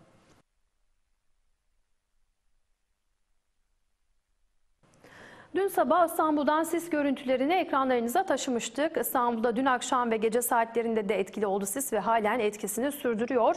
Görüş mesafesi yer yer 10 metreye kadar düşerken sürücüler ana arterlerde bulunan tabelalarla uyarıldı. Haliç, Çamlıca Tepesi ve Boğaz'da etkili olan sis nedeniyle görüş mesafesi yer yer 10 metreye kadar düştü. Çevre yolu ve D100 karayolunda bulunan tabelalarla sürücüler CHP'nin İstanbul Büyükşehir Belediye Başkan adayı Ekrem İmamoğlu konuşuyor. Onu dinleyeceğiz şimdi. Beraber yaşayalım diyerek hepinize tekrar günaydın, hoş geldiniz. Öncelikle İstanbul'un e, Tabii ki bugün toplu taşıma sorunlarını konuşacağız. Ee, bu toplu taşıma sorunlarını konuşacağımız e, bugün de tabii ki sizinle beraber çözümü de konuşacağız. Çözümü imkansız zannedilen vatandaşından idarecisine kadar neredeyse herkes tarafından kanıksanan bu büyük sorunu, ulaşım ve trafik sorununu e, konuşacağız bugün ve o soruna ilişkin tabii ki çözüm önerilerimizi siz kıymetli basın mensubu arkadaşlarımızla paylaşacağız. Zira dolayısıyla İstanbullu hemşehrilerimize sizin vasıtanızla duyurmuş olacağız. Bu şehirde yaşayan sevgili İstanbullular hani biliyor ki hatta çok iyi biliyor trafik sorunu İstanbul'un yıllardır en büyük sorunu. Ee, ve bu ön, en öncelikli ve bu en ağır sorun aslında her an her gün en yoğun hissedilen de sorun. Hayat pahalılığı ve işsizlik gibi e, tabii ki yakıcı problemler var. Vatandaşlarımızın giderek de canını çok sıkıyor ama e, yollarda geçirilen ömürler, yetiştirilemeyen e, yollar ve özellikle sınava yetişemeyen çocuklarımız, gençlerimiz sizlerin sıklıkla aslında gördüğünüz manzaralar harcanan tonlarca para, stres gibi uzayıp giden trafikten kaynaklı bir sorunlar listesini e, açıkçası sanırım her İstanbullu bir çırpıda sayabilir. Herkesin kendine az farklı anıları da vardır. Şehri yönetenler İstanbulluların bu en ağır ve en kangren olmuş sorununa çözüm üretmeyi unutup her seferinde kendi gündemlerine yöneldiklerini düşünüyoruz. Oysa kaynakların doğru projelere doğru zamanda doğru sıralamayla harcanmasıyla doğru bir planlamayla İstanbul'da konforlu, güvenli, ekonomik ve dakik yolculuk yapmak elbette mümkün. Bu asla bir mucize değil. Yürünebilir, erişilebilir, güvenli, havası temiz, daha az gürültülü ve yaşam kalitesi yüksek bir kent yaratmak için bütün olanaklar aslında mevcut. Yeter ki meseleye bütüncül bir planlama işi olarak bakalım ve ben, ekip arkadaşlarım hep birlikte bu sürece böyle bakıyoruz. Ve göreceksiniz 5 yıl içerisinde ulaşım sorununu İstanbullunun gündeminden çıkaracağım ekip arkadaşlarımızla çıkaracağız. Peki İstanbul bugün nasıl bir durum ile karşı karşıya?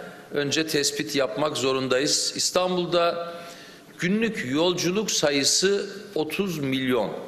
Ancak hareketlilik sıralamasında ne yazık ki dünyadaki 165 kent içerisinde İstanbul 114. sırada.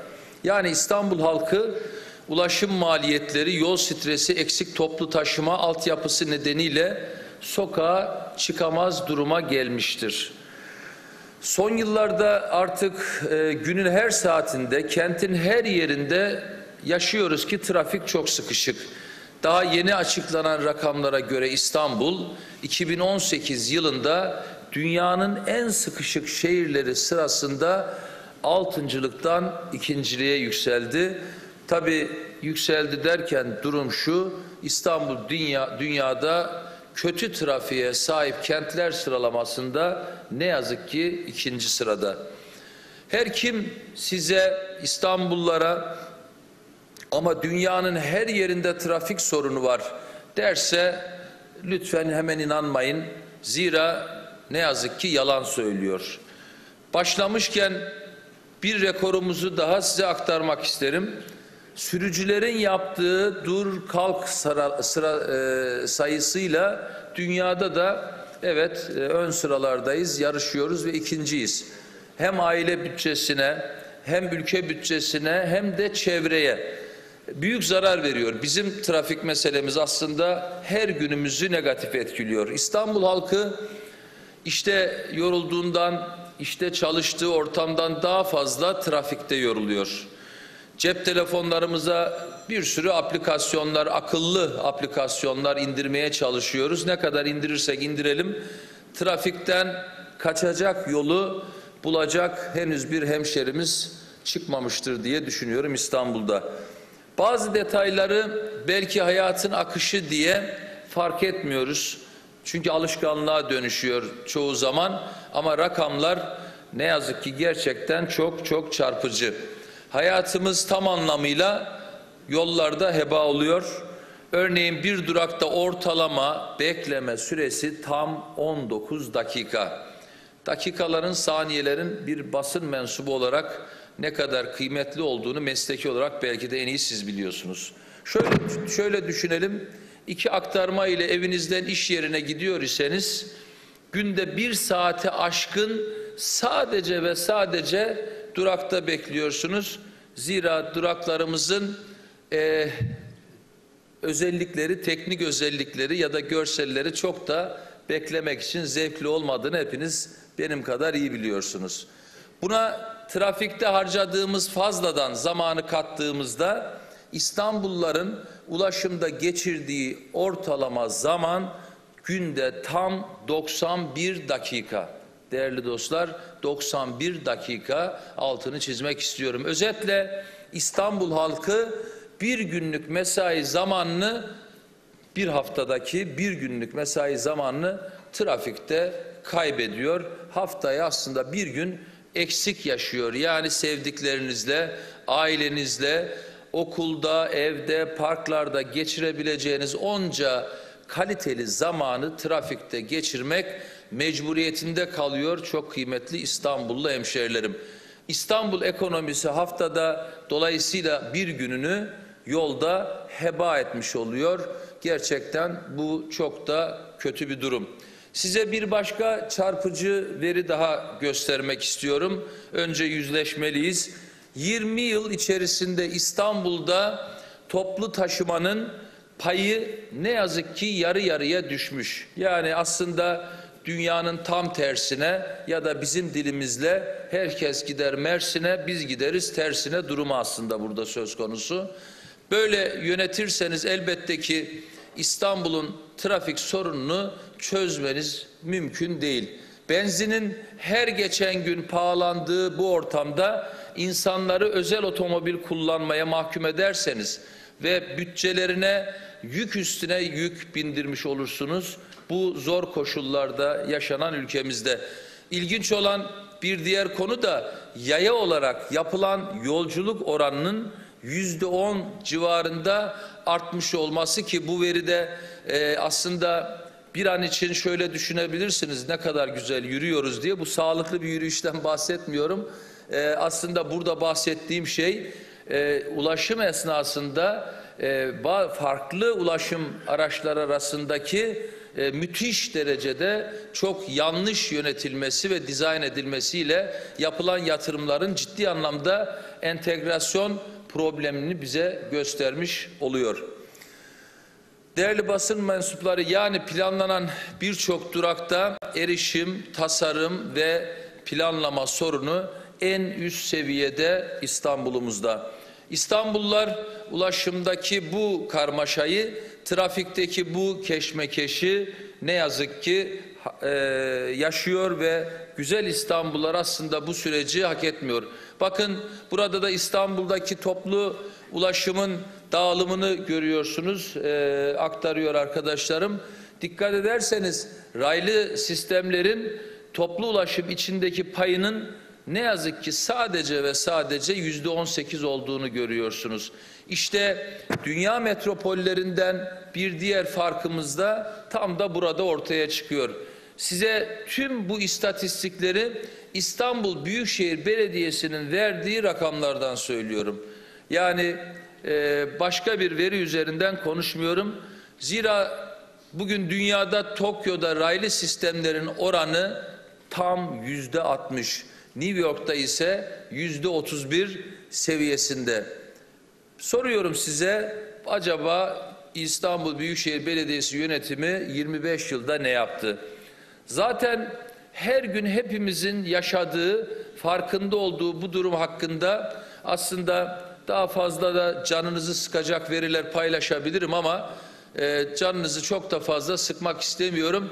E, artık yeni bir başlangıç zamanı dolayısıyla yıllardır İstanbul'u yönetenlerin çok da uzağa gitmeden 5 yıl önce İstanbul halkına neler vaat ettiklerini paylaşarak çözüm sürecine geçmek istiyorum. Gelin hep birlikte hatırlayalım.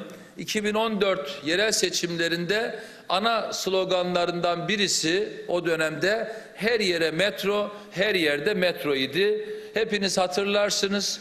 Bütün üst geçitlere bunu yazdılar e, ve bu mottoyu her yerde gördük aslında İstanbul'da. Biz de bir şeyler açıkçası hepimiz ben dahil nihayet bir şeyler yoluna girecek gerçekten çağdaş bir ulaşım ağına e, erişeceğiz diye düşündük.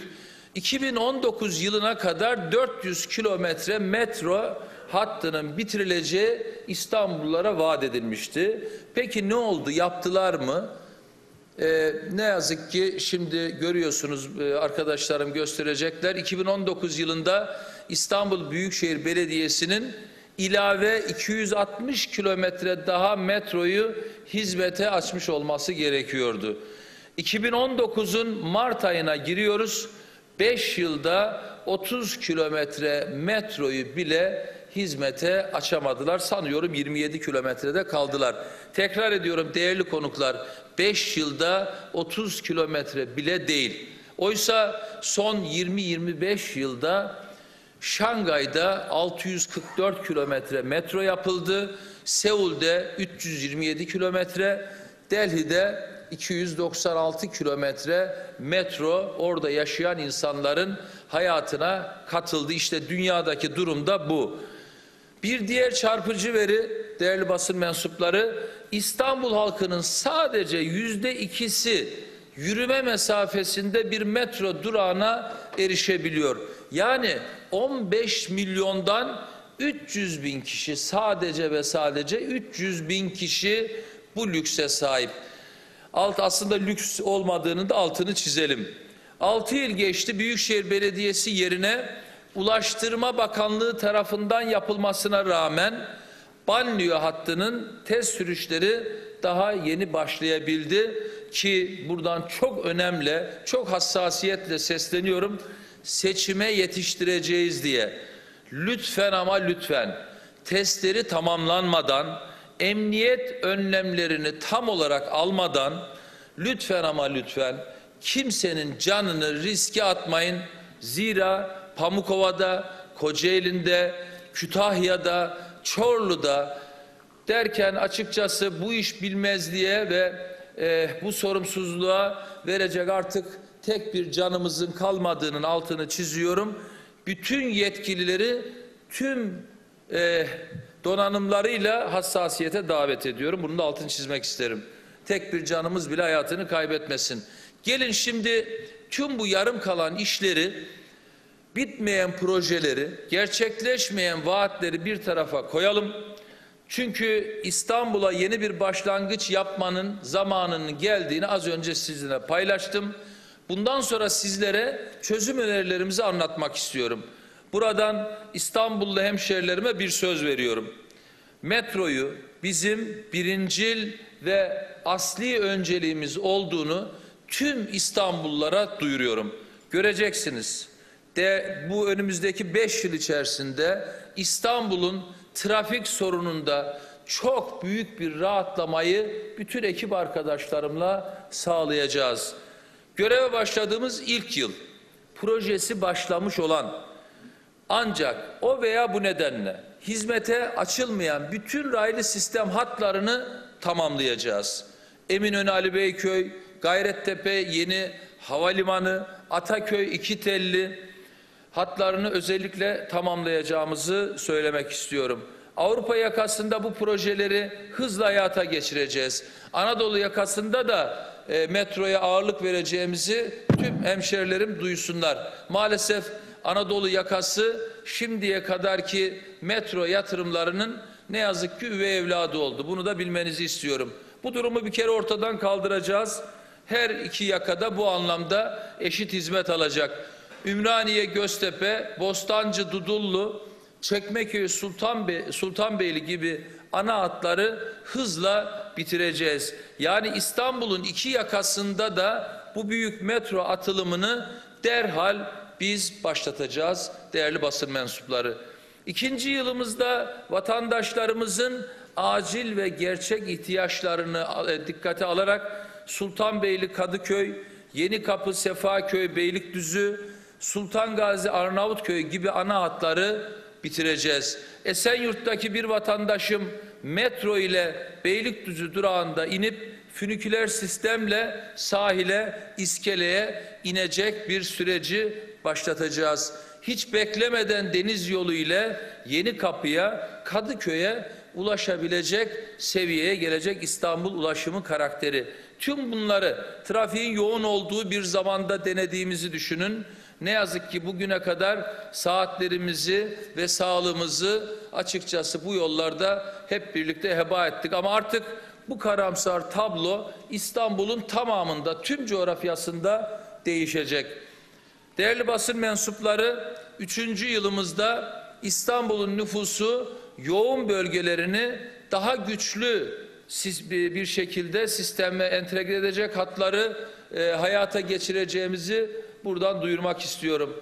Kağıthane, Küçükçekmece, e, Bağcılar, Gazi Osman ilçelerimiz metro ağına tamamıyla entegre olacak ki burada ciddi bir nüfustan bahsediyoruz. Güzergahlara hazır. 1 Nisan itibariyle hemen çalışma programımızı bu yönde başlatacağız. Dördüncü yılımızda Çekmeköy, Kartal, Büyükçekmece Silivri hatlarıyla İstanbul'un iki yakasını metro ile bir araya getirerek entegre bir süreci başlatmış olacağız. Böylelikle şu anda esprilere konu olan metrobüsün yükünü de hep birlikte hafifletmiş olacağız. Anadolu yakasında metro ağ ile kıyılardan yukarıdaki mahallelere kadar entegre bir ulaşım sistemini hayata geçirmiş olacağız. Dikey ve ara bağlantılar tamamlanmış olacak. Sancaktepe, Başakşehir, Arnavutköy gibi kent merkezinin uzağında kalan ilçelerde metro, metro ağına entegre olmuş olacak. İstanbul'da 630 kilometre metroyu hep birlikte kazandırmış olacağız. Değerli basın mensupları 15 milyonun 12,5 milyonu yani nüfusun yüzde 88'i yürüme mesafesinde metroya erişebilecek bir düzeye gelecek. Okulundan, evinden, işinden İstanbul'un her yerine metroyla hemşerilerimiz ulaşabilecek. Konforlu, hızlı ve ekonomik seyahat edecek. İstanbul'un trafiği de hep birlikte göreceğiz ki rahatlayacak.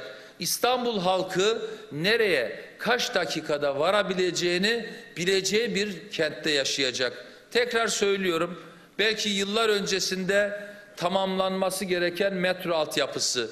Çünkü yaklaşık 25 yıllık süreçten bahsediyoruz.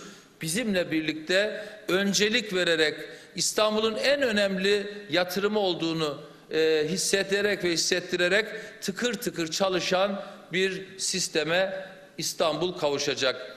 Peki tüm bunları nasıl başaracağız kıymetli basın mensupları? Bakın İstanbul Büyükşehir Belediyesi Avrupa'nın birçok ülkesinden, devletinden daha büyük bir ekonomiye sahip. Bugün Büyükşehir Belediyesi'nin bütçesinin çeyreği taşımacılık hariç sadece ulaşım altyapısına harcanıyor. Bu kadar para harcayıp bir arpa boyu yol kat edemiyorsanız kusura bakmayın ya bu işi bilmiyorsunuz veya bir yerlerde fena halde yanlışlar var, eksikler var ve bu yanlışlar sürecinde çok kötü bir sonuca varmıştır İstanbul. Önemli olan bir bütçeyi doğru şekilde kullanmaktır. Doğru planlama yapmaktır. İstanbul'un gündeminde olmayan işler yerine, önceliği olmayan işler yerine metroya öncelik vermektir. Sayıştay raporlarında ortaya konulan israf konuları ki hepiniz bunu biliyorsunuz ve bu usulsüzlüklerin tamamının önüne geçmektir. Örneğin İstanbul'da Atatürk Olimpiyat Stadı, Formula 1 pisti gibi ölü yatırımlarla halkın parasını çarçur etmemek, pul etmemektir. Göreceksiniz birilerine kaynak aktarmak için boşa harcanmayan bir bütçeyle, sağlıklı ve tasarruflu kullanılan bir bütçeyle biz İstanbul'un ihtiyacı olan metroyu hızla bitireceğiz. Ve İstanbul'un ulaşım sorununu metro yatırımları ile ciddi oranda rahatlatacağız. İstanbul isterse kendi kaynağının dışında kaynaklar yaratabilecek bir kabiliyete, büyük bir ekonomik güce de sahip olduğunu, altını çizmek isterim. Değerli basın mensupları 5 artı 5 yıllık vizyon planlarımızı hazırladık. Söz veriyorum. Bu gördüğünüz metro ağı 2029 yılında İstanbul'un hizmetinde olacak olan çok çağdaş dünyadaki bütün büyük kentlerde gittiğinizde gördüğünüz metro ağına İstanbul'da bu 5 artı 5 yıllık sürecin sonunda kavuşmuş olacak. Ama elbette ki sadece metro yapmak İstanbul trafiğinin çözümü için yeterli değil. Bunu biz de biliyoruz.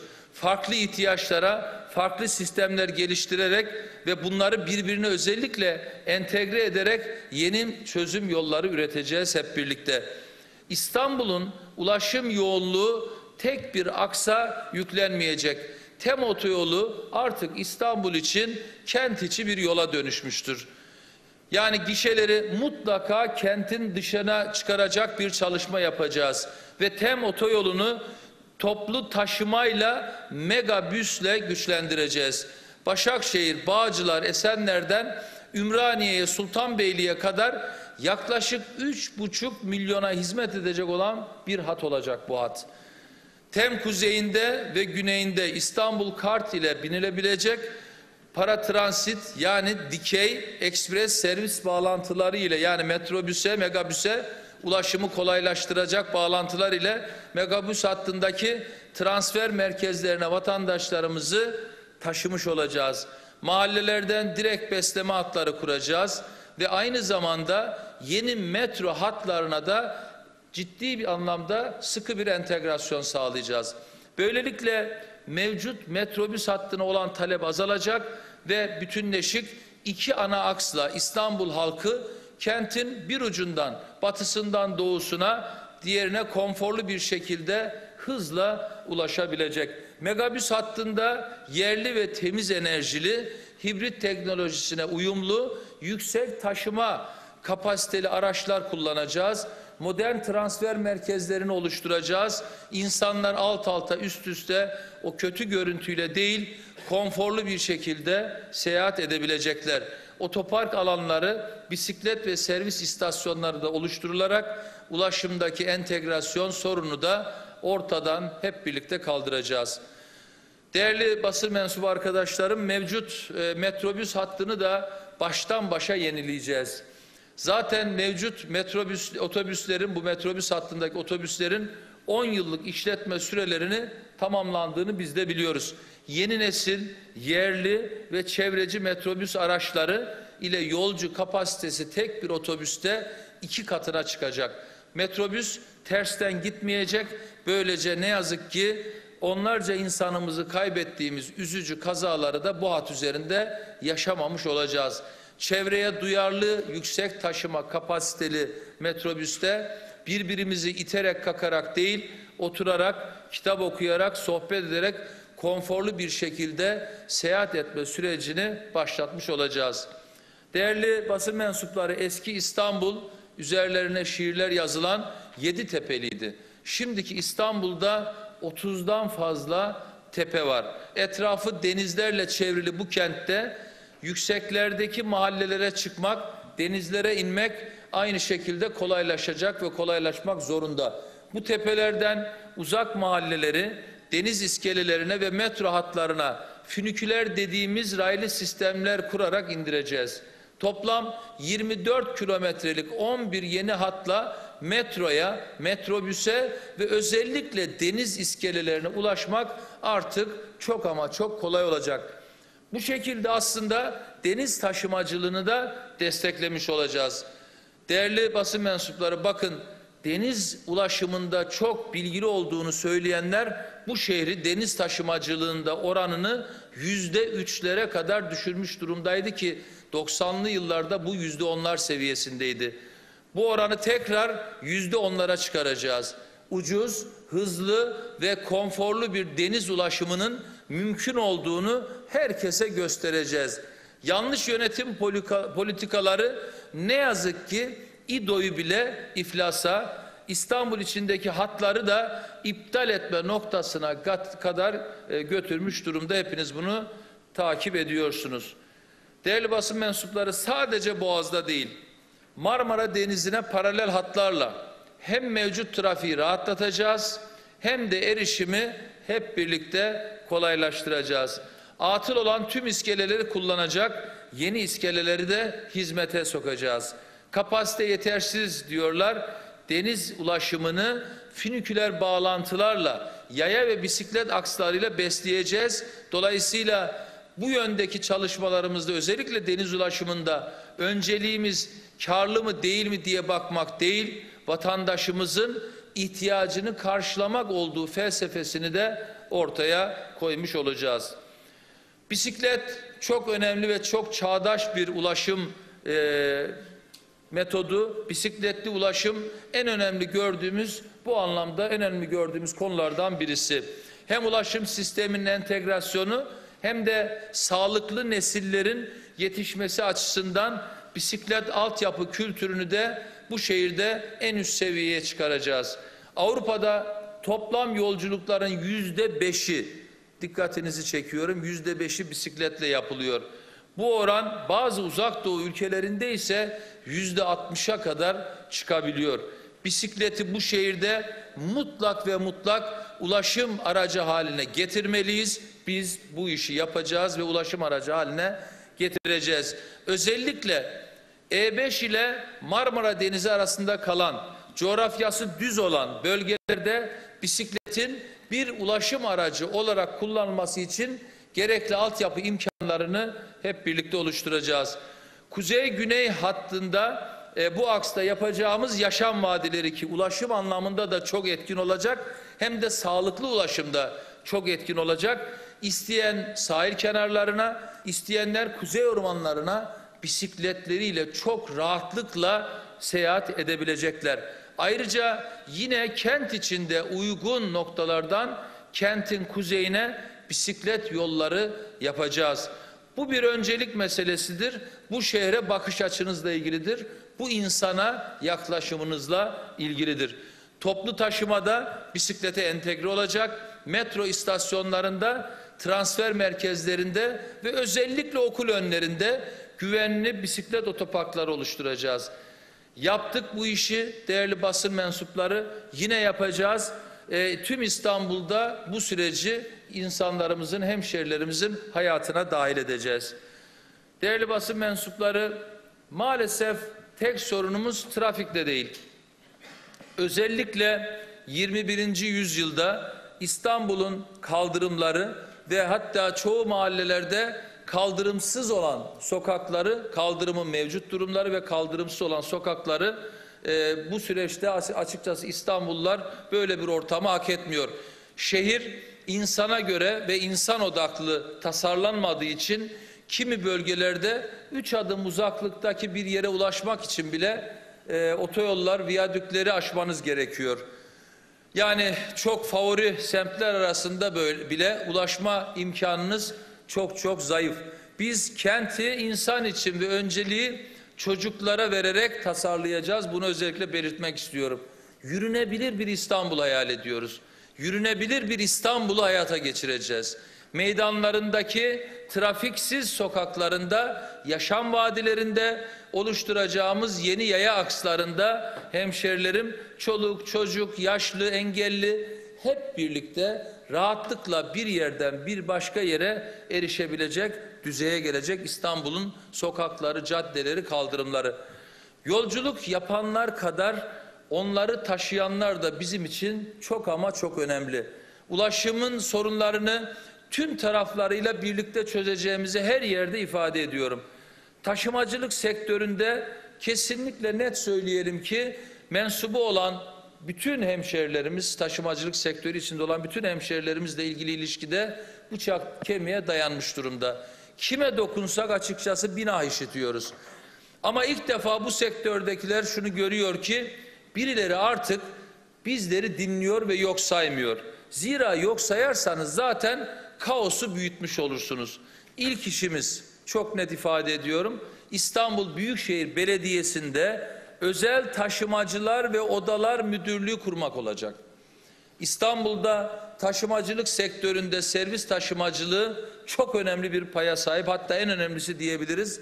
Daha geçen gün Ataşehir'de sözünü verdim. Yıllardır bu sektörün içinde olan on binlerce insanımıza tahdidi bir tehdit aracı olarak kullandılar. Servisçi kardeşlerimizin seslerine kulak verdik, vereceğiz ve 6 ay içerisinde göreve geldiğimiz ilk 6 ay içerisinde bu sorunu göreceksiniz. Biz çözeceğiz.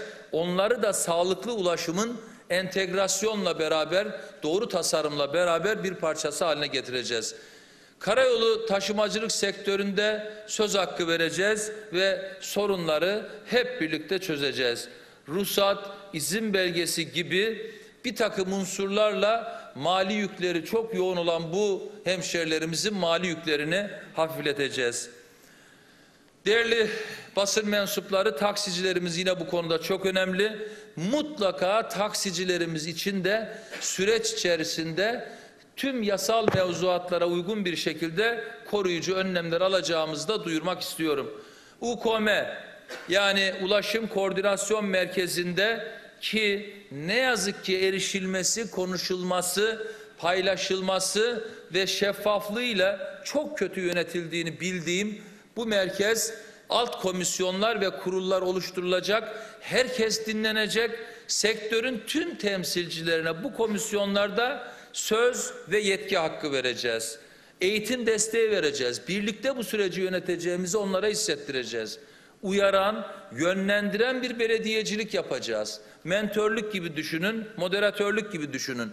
Ve tabii ki bu diyalog ortamı oluşunca daha güvenilir ve daha nitelikli bir hizmete kavuşacağız. İşletmeciler de mutlu olacak, yolcular da. İşletmeciler de bu sağlıklı sürecin bir parçası olduklarından dolayı gurur duyacaklar. Değerli basın mensupları, İstanbul kentinin lojistik planını hazırlayacağız. Özellikle ticaretin yoğun olduğu bölgelerde trafik sorununu yaratan en önemli konuyu hep birlikte çözmüş olacağız.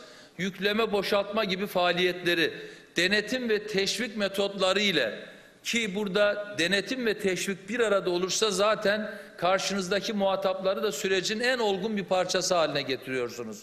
Trafik yoğun olduğu zamanlardan ayrıştıracağız. İlçe ve semt özelinde uygulamalar olacak. Kent merkezindeki nakliye işlemlerinde merkezin dışında aktarma istasyonları oluşturacağız. İstanbul'un trafiğini rahatlatmak için kademeli saat uygulamasını da mutlaka hayata geçireceğiz.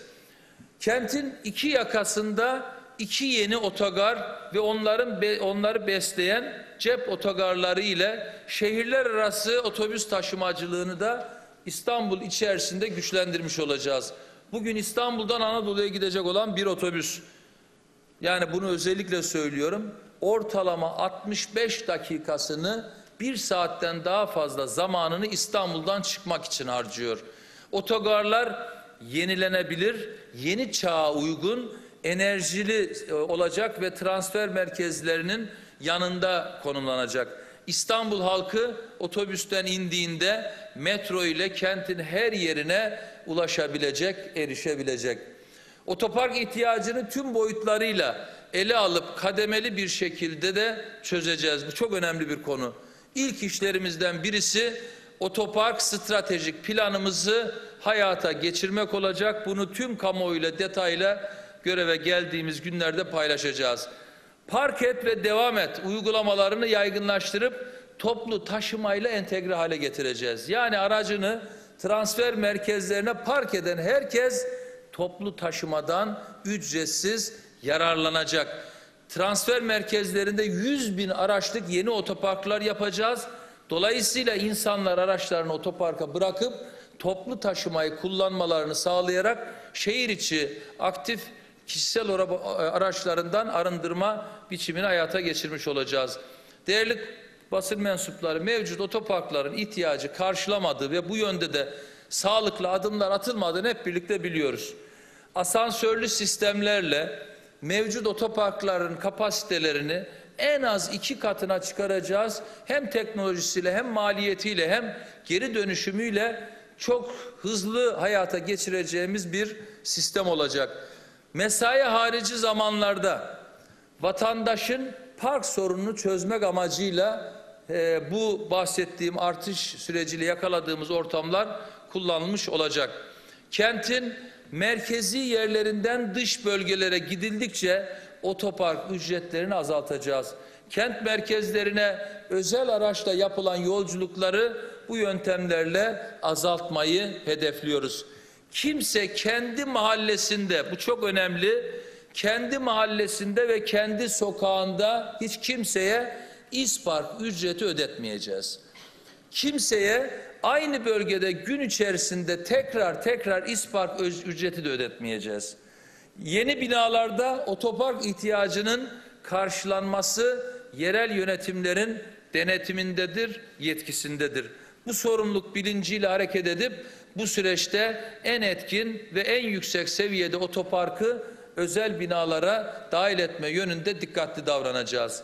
İmar düzenlemelerinde yeni yapılan binalarda kentsel dönüşüm projelerinde ada bazında otopark alanlarının yapımını mevcut ticari bölgelerde ise otopark yapımı ve işletmesini özel şahıslar ve özel mülkiyetler üzerinde de teşvik edeceğiz. Ciddi anlamda otopark sayısını bu kente katmış olacağız. hane halkı giderlerinde değerli basın mensupları en büyük paylardan birini ulaşım masrafları oluşturuyor ne yazık ki. Ve bu İstanbul halkının son günlerdeki yoksullaşmada çok çok çok canını yakıyor. İstanbul'da ulaşım ücretlerini sembolik değerlere düşüreceğiz. Ulaşım kesinlikle ucuzlayacak, hareketlilik artacak. İstanbul dünyanın en hareketli kentlerinden birisi olacak. Çocuklarda mevcut durumda 6 yaş olan ücretsiz toplu taşımayı 12 yaşa çıkaracağız. Yani 12 yaşına kadar çocuklarımız bu kentin ulaşımından ücretsiz faydalanacak. Özellikle 0-4 yaş arası çocuğu olan annelere ki 1 milyon 200 bine doğru yürüyen 0-4 yaş arası çocuk sayımız var bu kentte. Doğumdan sonra hemen sonra ücretsiz ulaşım kartını anneye hediye edeceğiz. Çocuğu 4 yaşına gelinceye kadar da kartı geçerli olacak. Zira bugün 2 yaşında, 3 yaşında, 1 yaşında olan çocuklarımızın da annelerine e, bu kartı 4 yaşına çocukları gelene kadar ücretsiz ulaşım kartını hediye edeceğimizi de belirtelim. Sadece göreve geldikten sonra bu eksikliği tamamlamayacağız. Geçmişten gelen eksiği de göreve gelir gelmez tamamlayacağımızı da tüm annelere duyuralım. Bu şekilde bebekli anneler eve kapanmayacak. Rahatlıkla bu güzel kentin, bu güzel İstanbul'un içinde dolaşabilecek. Çocuğunu kreşe götürecek, isterse gezecek, isterse hayata dahil olup işine gidecek. Bu konuda otobüs işletmecileri de gönlünü rahat tutsun. Bunun tüm maliyeti bu konuda hiçbir zararları olmayacak. Tüm maliyetini İstanbul Büyükşehir Belediyesi'nin karşılayacağını da buradan duyurmak istiyorum. Özellikle öğrenci yoğun bir kentte yaşıyoruz. Öğrencilerin aylık aylık İstanbul kartını 50 liraya düşüreceğiz. Öğrenciler hem okuyarak hem gezerek daha çok bilecek. Bir yerden bir yere gitmeyi de dert etmeyecek. Gençler açısından bu çok önemli bir sorun. Okula devam etmeyen gençlerimizin de ulaşım masraflarını düşüreceğiz. 25 yaş altındaki tüm gençlerimizi genç kartla yüzde 40 indirimden faydalandıracağız. Zira onların ek eğitim almalarını sağlayacağız, meslek edinmelerini sağlayacağız ve işe katılmalarını, hayata katılmalarını sağlama yönünde hayatlarını ucuzlaştırıp onlara destek olacağız. Belediye hizmetlerine düzenli olarak destek veren gönüllerimiz de e, ücretsiz bir ulaşıma e, erişmiş olacaklar. Zira bu gönüllü e, sürdürülebilir hale getireceğiz. Birçok konuda İstanbul'un gönüllü insanlarından faydalanarak onların da aidiyet duygusunu arttırmak üzere e, onların bu sürecin içine katılmalarını sağlayacağız. Dolayısıyla sürekli olarak bir İstanbul ittifakından söz etmiş olacağız. Sadece seçim öncesi değil. İşte bu ittifak İstanbul'u yönetirken de geçerli olacak. Çünkü herkes sürecin gönüllü bir şekilde e, içinde olacak. Biz bir gönüllülük ağı oluşturacağız ve hatta e, oluşturmaya başladık bile şu anda bu süreci başlattık. Biz İstanbullunun bilgisinden, görgüsünden, deneyiminden faydalanıp yeni bir başlangıca bütünlükçü, her şeyi içine katan katılımcı bir başlangıca hep birlikte imza atacağız. Biz vatandaşımıza ucuz ve konforlu hizmet tek bir araçla gidemiyor. Ancak aktarmalı gidebiliyorlarsa bu bizim sorumluluğumuzdur. Dolayısıyla bu çok önemli, çok sorulan bir soruydu. İlk aktarmaları, aktarma sürecindeki ilk aktarmaları ücretsiz hale getireceğiz. Halkımız bir yerden bir yere gitmek için ilave ücret ödemeyecek. Bayramlarımız bizim kutsalımız. Bütün milli, dini ve resmi bayramlar bizim bayramlarımız. Dolayısıyla ayrım yapmaksızın tüm bayramlarda toplu taşıma araçlarımızı ücretsiz hale getireceğiz. Daha önce dini bayramlarda uygulama yapılıyordu. Milli bayramlarımızda da bu uygulamayı hayata geçireceğiz. İstanbul halkı bayramlaşacak, bayramlarda coşacak, bir araya gelecek ve hep birlikte İstanbul'da bu güzel anlar, bu manevi anlar kutlanacak. İstanbul uzun zamandır akıllıca yönetilmeyen, şeffaf bir şekilde yönetilmeyen bir kent. Bu nedenle akıllı uygulamaları önemsiyoruz. Buradan tüm halkımıza söz veriyorum. Bizim dönemimizde sinyalizasyon sistemi kurulmayan bir hatta asla hizmete açmayacağız. Trafik projeksiyonları ve simülasyonları üzerinden erken yönlendirme sistemleriyle trafik yönetiminin en ileri düzeye e, taşıyacağız ve bu süreci bu şekilde sağlamış olacağız. Metrobüs durağının tıklım tıklım olmasını beklemeyecek. İstanbullu gideceği yerde hangi otopark alanı müsait akıllı sistemler üzerinden bilecek. Sadece toplu taşımada, trafik ve otopark yönetiminde de değil. Deniz, yaya ve bisikletli ulaşımın tamamında akıllı sistemlerden yararlanacağız. Temiz ve yenilenebilir bir enerjiyi tüm ulaşım sisteminde uygulayacağız. Değerli basın mensupları, kıymetli hemşerilerim, ulaşımda dezavantajlı kesimleri de mutlaka ve mutlaka en önemli ve en hassas biçimde gözeteceğiz. Toplu taşıma araçlarımız, duraklarımız, istasyonlarımız, kaldırımlarımız engelli erişimine uygun olacak şekilde düzenlenecek. Engelli yurttaşlarımız toplumla bütünleşip hayatın içinde olacaklar. Yaşlılar, bebek arabası kullanan anne babalar, çocuklar bir yerden bir yere giderken bu şehirde artık rahat edecekler. Sonuç itibariyle ulaşım bir planlama sorunudur. Akla, bilime, rakamlara dayalı bir vizyonunuz varsa trafiği bir sorun ve eziyet olmaktan çıkarırsınız. Hangi çağda yaşıyoruz ki? Bizim aklımız yok mu? Başka ülkeler nasıl yapıyorsa değerli basın mensupları biz de yapabiliriz. Eğer köprü, kavşak yapmak, asfalt dökmek sorunu çözseydi trafikte geçirdiğimiz zamanlar yıldan yıla azalırdı. Üçüncü köprü yapılırken artık köprülerde trafik kalmayacak deniliyordu. Hepimize müjde verilmişti. Peki oldu mu? Yapılan tüneller yoğun saatlerde ne yazık ki hep tıkalı. Biz ulaşım kararlarını bütüncül bir şekilde nasıl bir İstanbul istiyoruz soruna ver, sorusuna vereceğimiz ortak cevaba istinaden alacağız. Önceliğimiz metro ve toplu taşıma olacak. Akılcı olmayan israf projelerini hemen bir kenara koyacağız. İstanbul'un hiçbir şekilde gündeminde olmayacak bunlar. Biz tüm bu konulara olduğu gibi bu meseleye de bilimsel yaklaşacağız. Popülist yaklaşmayacağız. Önceliklerimizi halkın gerçek ve yakıcı ihtiyaçlarına göre vatandaşların katılımı ile belirleyeceğiz. Bu çok önemli. Sürecin sahibi olacaklar ve söz veriyorum. Ulaşım sorunu 5 yıl içerisinde İstanbul'un gündeminden çıkacak. İstanbullu için ekonomik ve konforlu ulaşım sağlayacağız. Engelleri ortadan kaldıracağız. Gece gündüz 7-24 kamusal ulaşımı bu şehirde kesintisiz, kesintisiz hale getireceğiz. Gürültüden, patırtıdan, kavgadan uzak huzurlu bir yolculuğun tadını çıkartacağız. Bunu vatandaşlarımızla paylaşacağız. Eğitimleri olacak. Yeni nesil insanlar bir kent yaşamında, trafikte nasıl davranması gerektiği konusunda daha hassas, daha dikkatli davranacaklar. Çünkü onlar da sistemin bir parçası ve sahibi olacaklar. Daha temiz bir havası olan, daha sessiz bir şehir olacak güzel ve kadim İstanbul. Söylediğim gibi geleceğe ilişkin vizyonumuz hazır. 5 yıl sonrası için diğer birçok konuda olduğu gibi ulaşım açısından da önümüze koyduğumuz hedefler ve önceliklerimiz belli. Kente saygı ve insana özen prensibiyle ulaşımı tüm medeni kentler gibi biz de çözeceğiz. Kuracağımız bütünleşik ulaşım sistemiyle uzak yerleri bu şehirde yakın edeceğiz.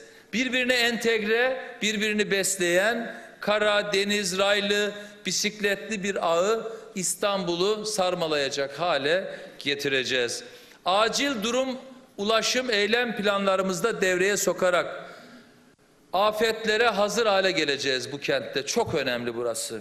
İstanbul çocuklarımızın sokaklarında güvenle dolaştığı, insanlarımızın yaşamaktan keyif aldığı bir kent olacak.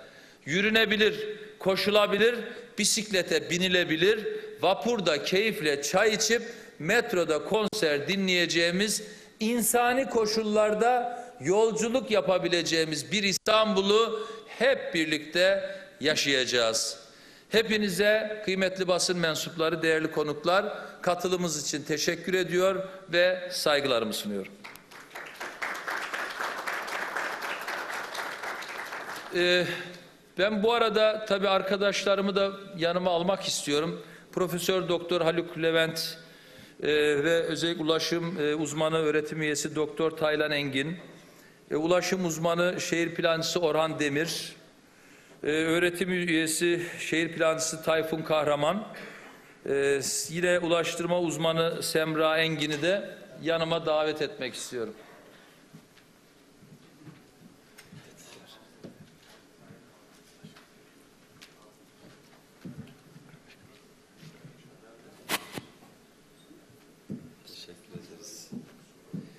Ee, ekibimizde çok daha kıymetli arkadaşlarımız da var ama bu konunun e, ana e, sahipleri burada. Ben e, ekiplere bu katkılarını sunan ve binlerce mail atarak sorunları tespitte bize katkı sunan hatta sokak sokak çözüm önerilerini bize aktaran tüm duyarlı İstanbullu hemşerilerime de buradan teşekkürü bir borç biliyorum. Evet.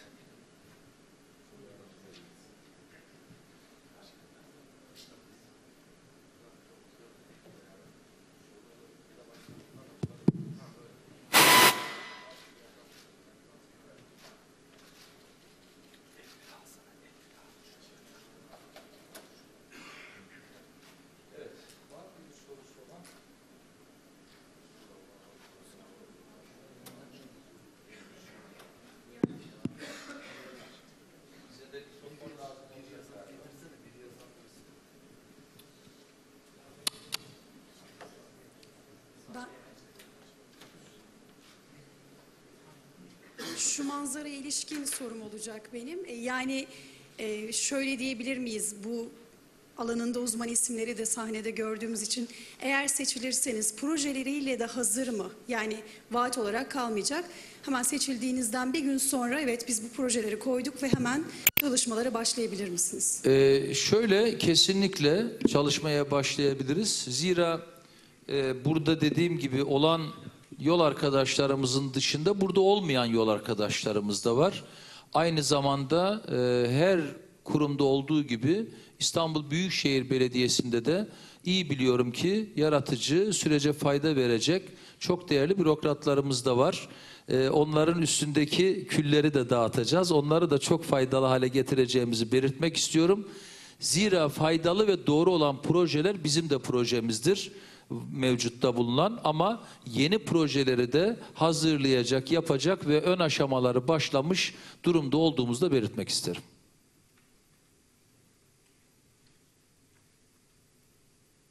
Başka soru yok mu?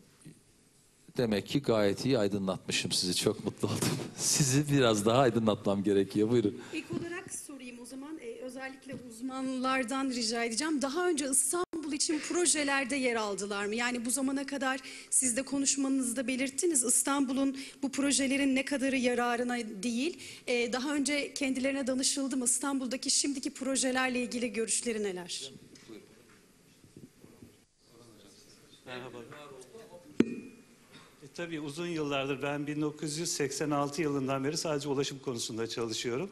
Ve 1986 yılından beri İstanbul'da e, yapılan, İstanbul'da değil daha doğrusu Türkiye'de yapılan hemen hemen bütün projelerde yer aldım. Tabii ki bu İstanbul'un özellikle e, raylı sistemlerinin birçoğunun fizibilitesinde çalıştım Marmaray'dan başlamak üzere. Bu bugün bindiğimiz metrolar, tramvaylar da dahil bir sürü projede tabii ki yer aldık. Ee, dediğim gibi 86 yılından beri elimizden geldiğince gerek be- belediye içerisindeki arkadaşlarımızla beraber bütün projelere yararlı olmaya çalışıyoruz. İstanbul'a yararlı olmaya çalışıyoruz. Orhan Demir. Demir.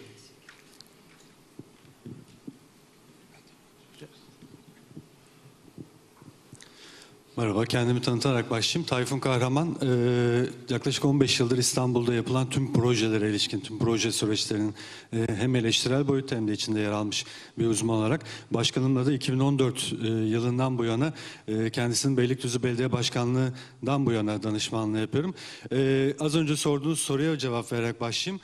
E, başkanıma bu konuda güvenebilirsiniz. Ben 2014 yılından bugüne kadar yaşadığım tecrübede kendisine yardımcı olmak için ne zaman masaya otursak başkanım her zaman projelerimizi e, dinleyerek ve projelerimizi gerçekleştirerek o masadan kalktı. O nedenle e, bizler projelerin e, altlıklarını hazırladık. Şu anda bugün izlediğiniz tüm sunumlarında e, teknik olarak da e, yapılabilirlik anlamında da hepsi fizibiliteleriyle birlikte hazırlar. E, merhabalar Semra Engin ben. Özür dilerim.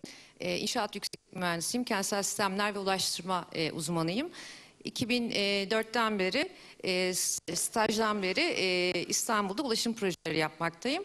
Aynı zamanda Metrobüs projesinde ilk e, çizen kişilerden biriyim.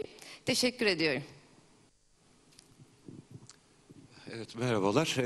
Doktor Taylan ben de. Bandırma'da e, öğretim üyesiyim. Şu an 1999'da Büyükşehir Belediyesi'nde bir parçası, bir elemanı olarak başladım e, ulaştırma alanındaki deneyimime.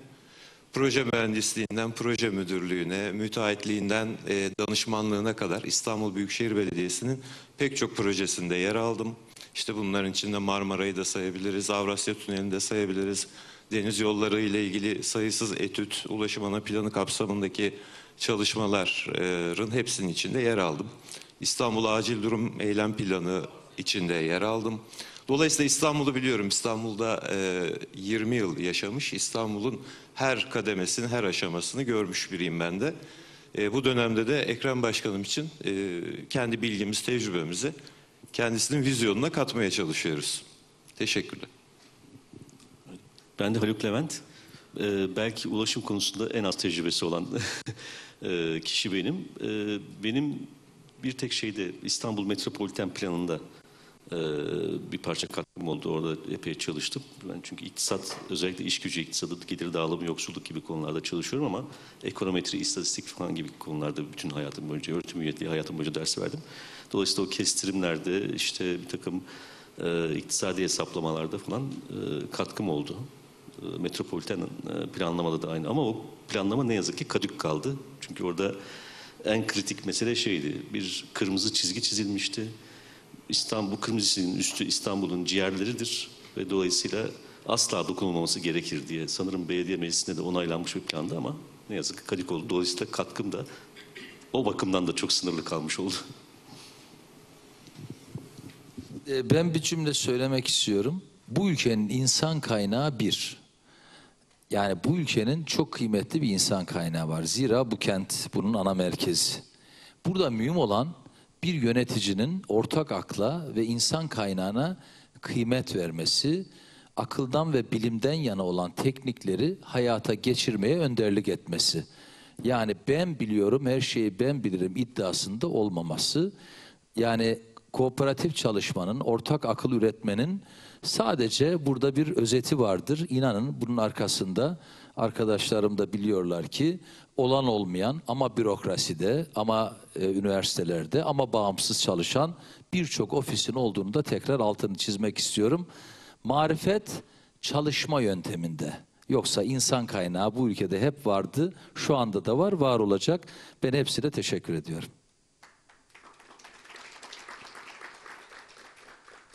Katıldığınız için çok teşekkürler. Sağ olun.